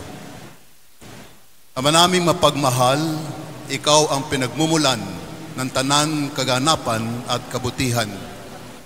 Ipagkaloob mong sa pagsasalong ito sa banal na pakikinabang, ako'y magkaroon ng kakayahang ganapin ang ayon sa iyong kalooban at ituro ang katotohanan sa ikababatid at ikatutupad ng tanan sa aral na iyong bigay sa pamamagitan ni Yeso Kristo kasama ng Espiritu Santo magpasawalang hanggan. Amen. Magsiyo po ang lahat at pakinggan po natin ang mensahe ng lubhang kagalang-galang ang Apostolic Nuncio, Most Reverend Charles John Brown, D.D.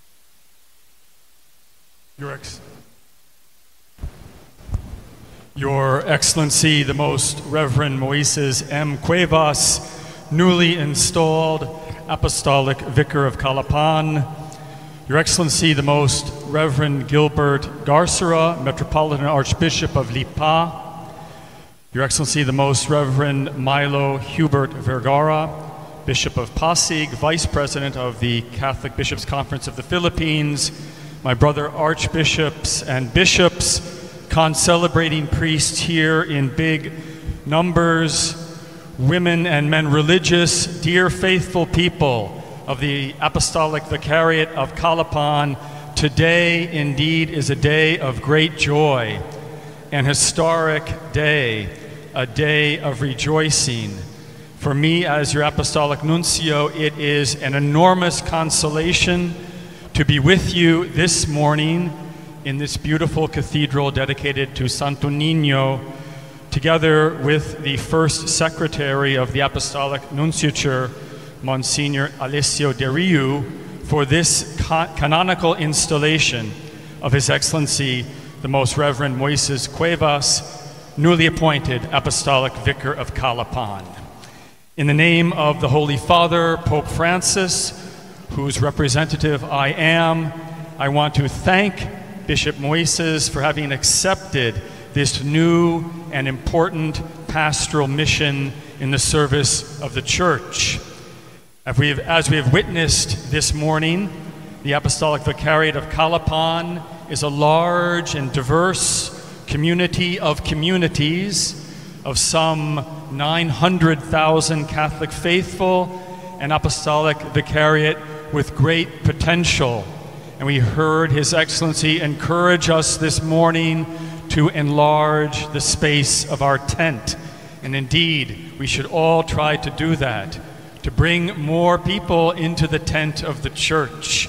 That is the missionary impetus that Pope Francis is asking us to engage in during this synodal process. And of course, we have every hope that under the leadership of your new Bishop Moises, the Apostolic Vicariate of Calapan will continue to thrive and to flourish.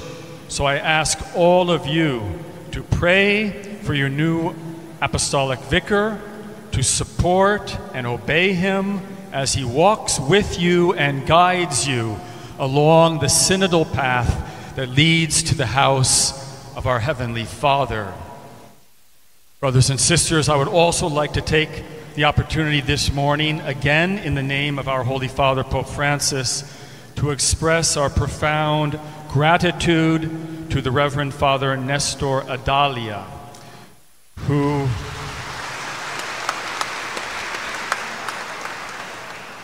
Father Nadalia, Father Adalia Nestor Adalia, who has served as apostolic, has served as administrator of the vicariate with great generosity and outstanding effectiveness over these last almost five years.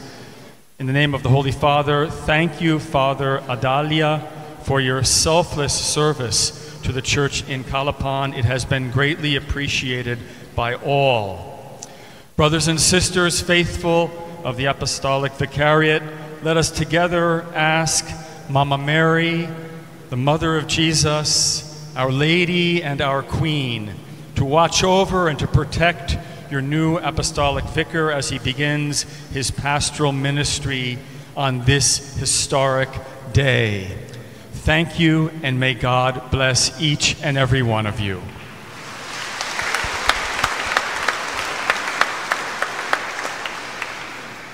Ngayon naman po ay pakinggan natin ang mensahe ng bagong talagang obispo, the Fourth Apostolic Vicar of the Apostolic Vicariate of Calapan, Most Reverend Moises M. Cuevas, Didi.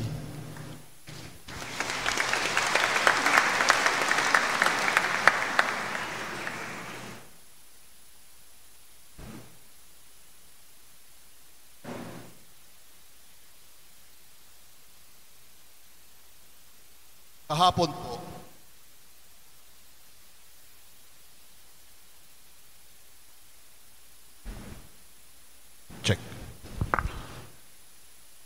Kahapon po sa tanghalian, inalok ako ng mga pari ng prutas na durian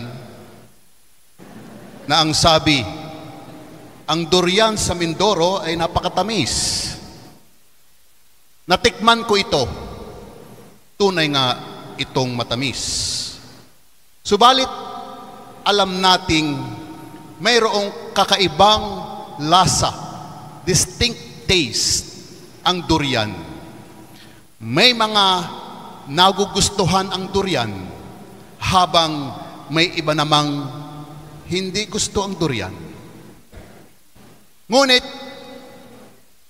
alam ganinyo na sa kalaunan, at paglipas ng panahon, maraming tao tulad ko ang natutunan at nakakasana, nakakasanayan, magustuhan at tanggapin ang sariling lasa ng durian kahit na sa simula ay inaayawan.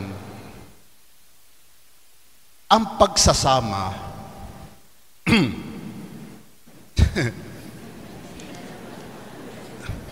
Ang pagsasama, hindi, hindi ho ito hugot ha.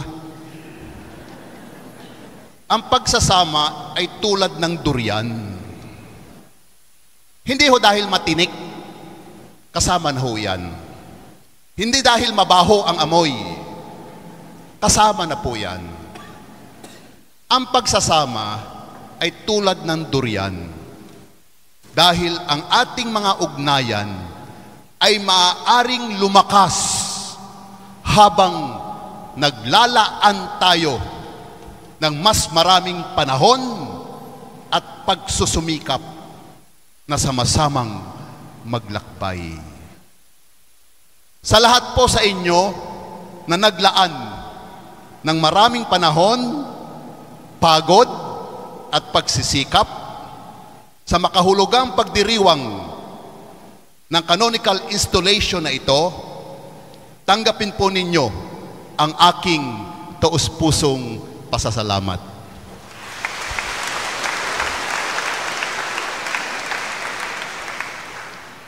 I am most grateful to the Holy Father for appointing me as Apostolic Vicar of the Apostolic Vicariate of Calapan.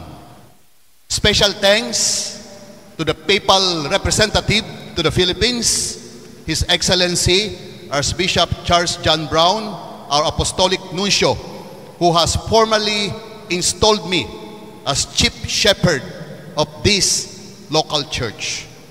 Your Excellency, your presence with us today brings the special closeness of Pope Francis and reminds us all that the Apostolic Vicariate of Calapan is apart. Ah, hindi baka apart. Bahagi. Apart. baka sabihin nyo, apart. Sep- Separated. Hindi ho. Yung iba yung apart. Ay bahagi ng Universal Church of Jesus Christ. At maraming salamat po, Your Excellency.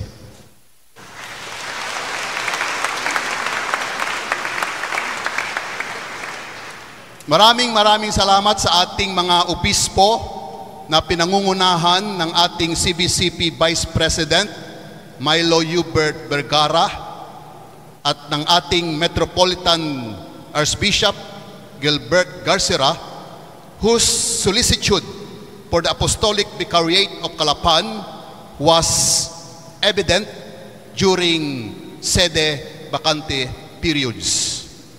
Tingnan po ninyo kung gaano kayo kamahal ng simbahan. Napakaraming obispo, hindi, walang sino mang nakakapunta sa Kalapan by land.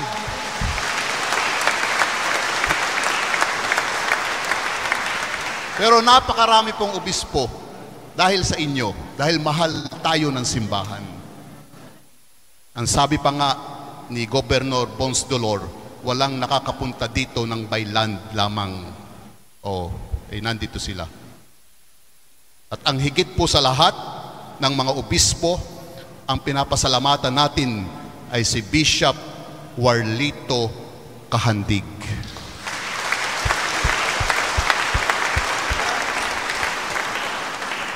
Ipagpatuloy po natin siyang ipagdasal. Pinasasalamatan ko po ang aking ang ating mga kaparian, ang aking mga classmates sa Regional Major Seminary in Mindanao. Nandito po ang iba. Ang mga pari nang galing sa iba-ibang dioceses at syempre po ang mga kaparian ng Archdiocese of Zamboanga. I will truly miss you.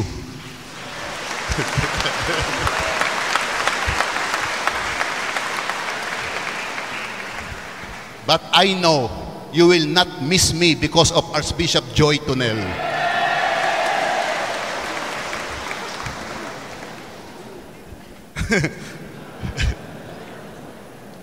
Imagine, giing ko sa mga pari, Archbishop, muad to nakagkalapan, kay ayaw nakagsamok-samok ni Archbishop Joy.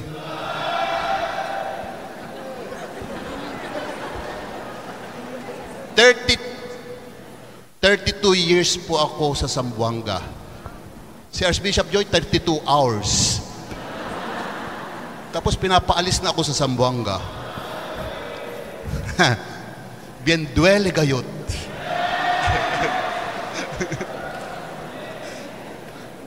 At syempre po, ang maka- mga kaparian dito sa Bikaryato ng Kalapan, maraming maraming salamat sa inyong lahat.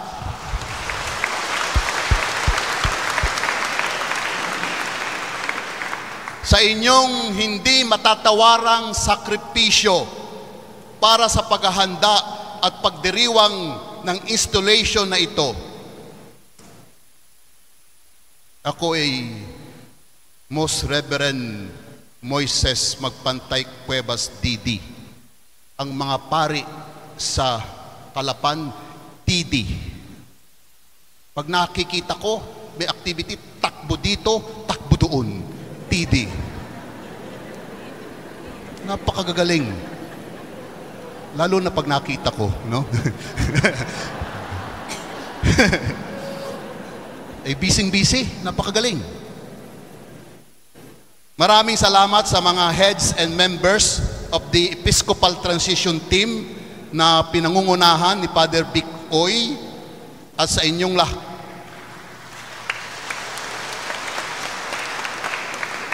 At sa inyong lahat, mga pari sa Kalapan, Vicariate, salamat sa kapatiran, pagsaknong, at pagtapong. Parang ang pinaka-importante po yung pagtapong, no? Dahil napakaganda ng basement namin. At higit sa lahat ng pari, ang nararapat nating pasalamatan ay si Father N-E-S. Ness. Father Ness.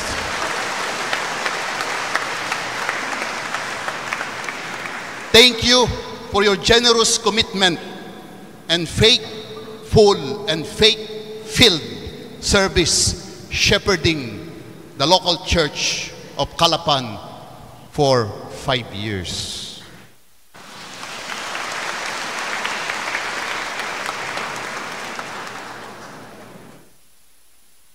Kayo po ang aking mga pari.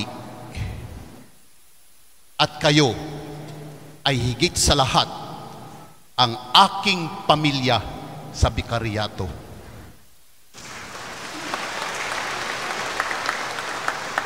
Alam na alam natin na ang koneksyon na nag-uugnay sa atin ay hindi nagmumula sa laman o dugo.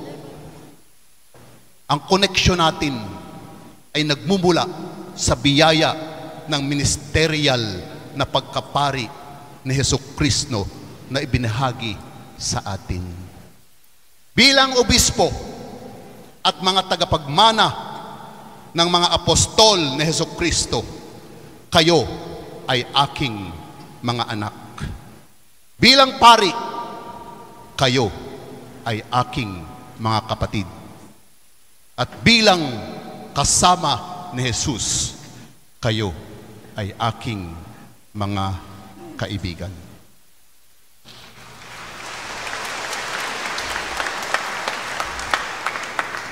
Ako din po ay nagpapasalamat sa ating mga religious and consecrated men and women bilang mga mapagkukunan ng tulong at kooperasyon sa pagpapalakad ng Episcopal Order. Maraming salamat sa inyong di mabilang ibinibigay na serbisyo at sakripisyo para sa bikaryato sa pamamagitan ng pagtupad sa inyong mga karisem. Pinasasalamatan ko ang mga laiko ng bikaryato kabilang na ang ating mga katutubong mangyan sa inyong tapat na paglilingkod kay Kristo at sa pagsasabuhay ng salita ng Diyos. Maraming salamat sa kapatiran, pagsaknong at pagtapong. At sa mga laiko na nanggaling sa Archdiocese of Zamboanga, Tarindeo gracias con todo con ustedes. Huwag kayong mag-alala. Kami po ni Father Ness ay naghanda ng special gift sa inyo pag uwi ninyo. Di ba kayo sasakay ng eroplano? Di ba? Sasakay kayo ng eroplano. Itong regalong ito, hindi pa ho ninyo ito nat natatanggap habang uh, maski kailan ho na sumakay kayo ng eroplano. Ang gift namin ni Father Ness ay isang sakong bigas 50 kilos.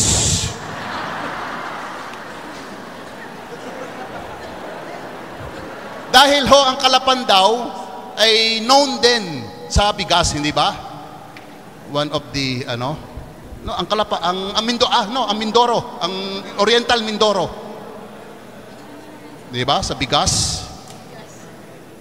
50 kilos. Magkano ang excess baggage? 300. 50 times 300, that's 15,000. Eh, sabi ni Father Ness, bigas lang ang bibigay ha, hindi ang pambayad sa excess baggage.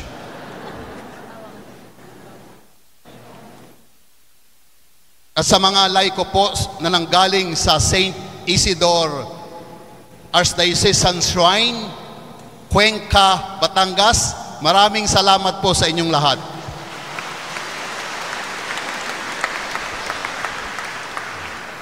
Hindi ho kayo bibigyan ng bigas kaya alam namin dadalhin ninyo. Maraming maraming salamat po sa ating mga government officials ng Oriental Mindoro na pinangungunahan ni Governor Yumerlito A. Dolor at sa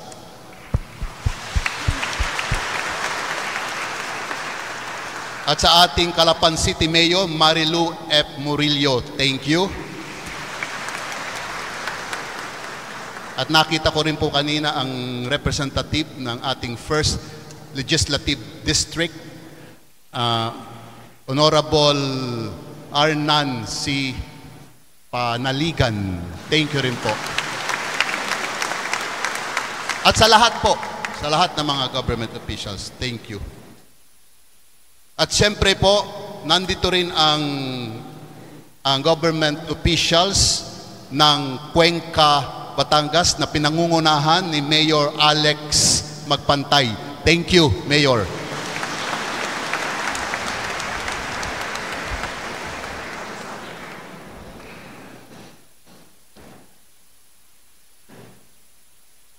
Maraming salamat din po sa ating mga kapulisan sa pagpapanatili ng kaayusan. Thank you so much.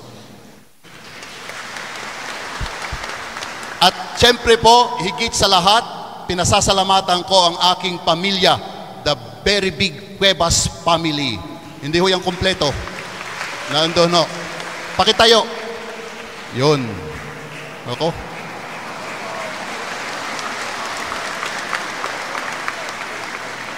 Okay. Thank you. Yun ang nagpahirap sa mga pari sa Kalapan, no? Sa pagpapakain. Pasensya na ho kayo. Sa inyo pong lahat, maraming salamat po. Doon po sa inyo na hindi ko nabanggit, ako ay taus-pusong nagpapasalamat. Kung kayo po ay nasaktan dahil hindi ko kayo nabanggit, eh normal naman po yon. Pero kung kayo po ay magalit, nako, hindi na ho normal yon dahil pag itinanim niyo yan sa inyo ang puso at isipan, mag-aamoy kayong durian. Ang sabi po ni Santa Teresita, everything is grace. Ang lahat ay biyaya. Ang lahat ay pagpapala.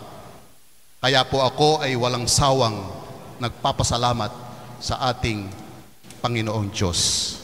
Thank you.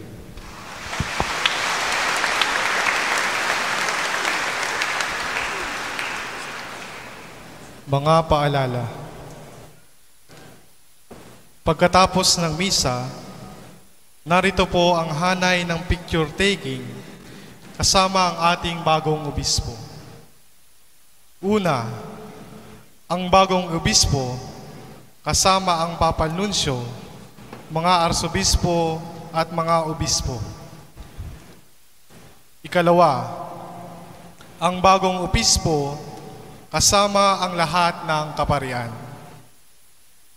Ikatlo, ang bagong obispo kasama ang kaparian ng Zamboanga. Ikaapat, ang bagong obispo kasama ang kaparian ng Bikaryato Apostoliko ng Kalapan.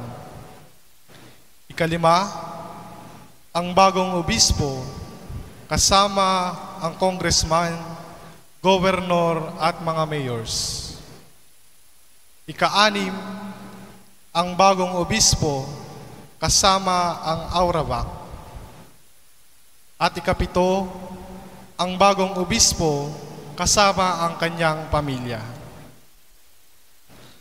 Matapos nating magsalo sa hapag ng Eukaristiya sa banal na misa, tayo naman po ay magsasalo sa hapag kainan. Para po sa pagsasalo-salo natin sa hapagkainan, ang mga obispo, mga bisitang pari, pari ng bikaryato, mga mayor, congressman at governor ay sa Sisi Hall. Para naman sa pamilya at mga bisita ni Bishop Moises mula Sambuanga at Batangas, mga women religious and other government officials, tayo po ay sa Holy Infant Academy Gymnasium. At para naman po sa lahat ng Mindoreños na narito, meron pong food pack na available sa admin building ng Holy Infant Academy. May mga usher at usherettes na gagabay po sa atin. Maraming salamat po. Magsitayo po ang lahat.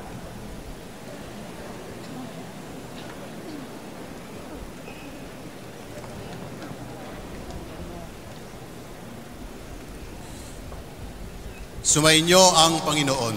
At sumayo.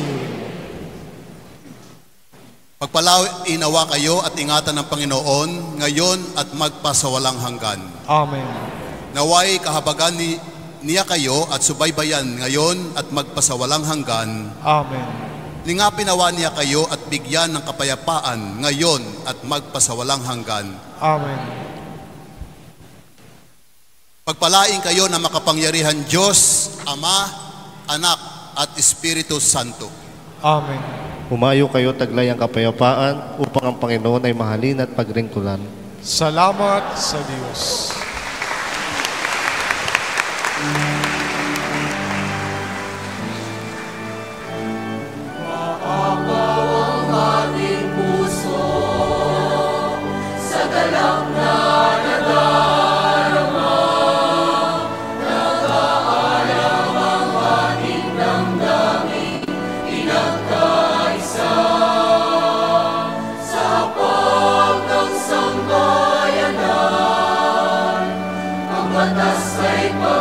Singapore.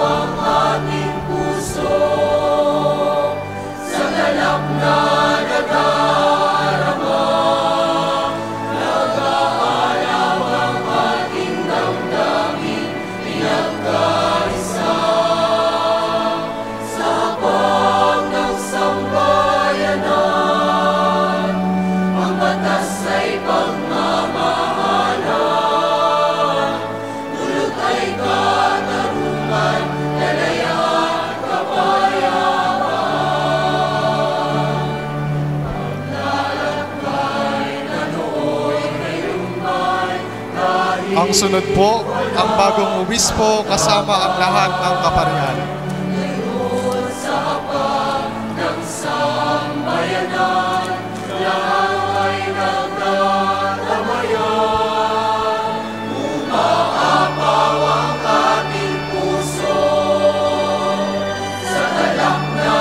lahat po ng kaparian kasama po ang mga bisitang pari. Lahat po ng kaparian kasama ang mga bisitang pari. ang batas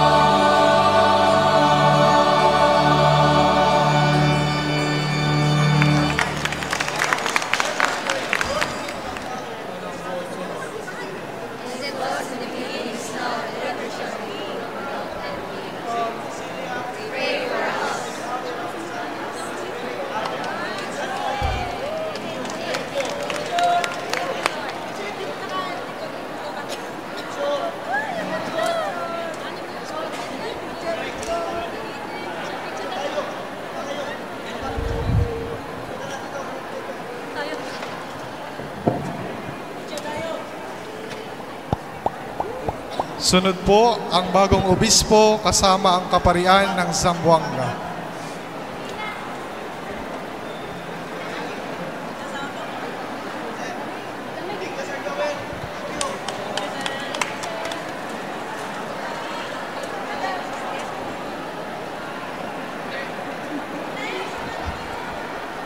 Susunod po sa kanila ang mga pari ng Bikaryato ng Kalapan.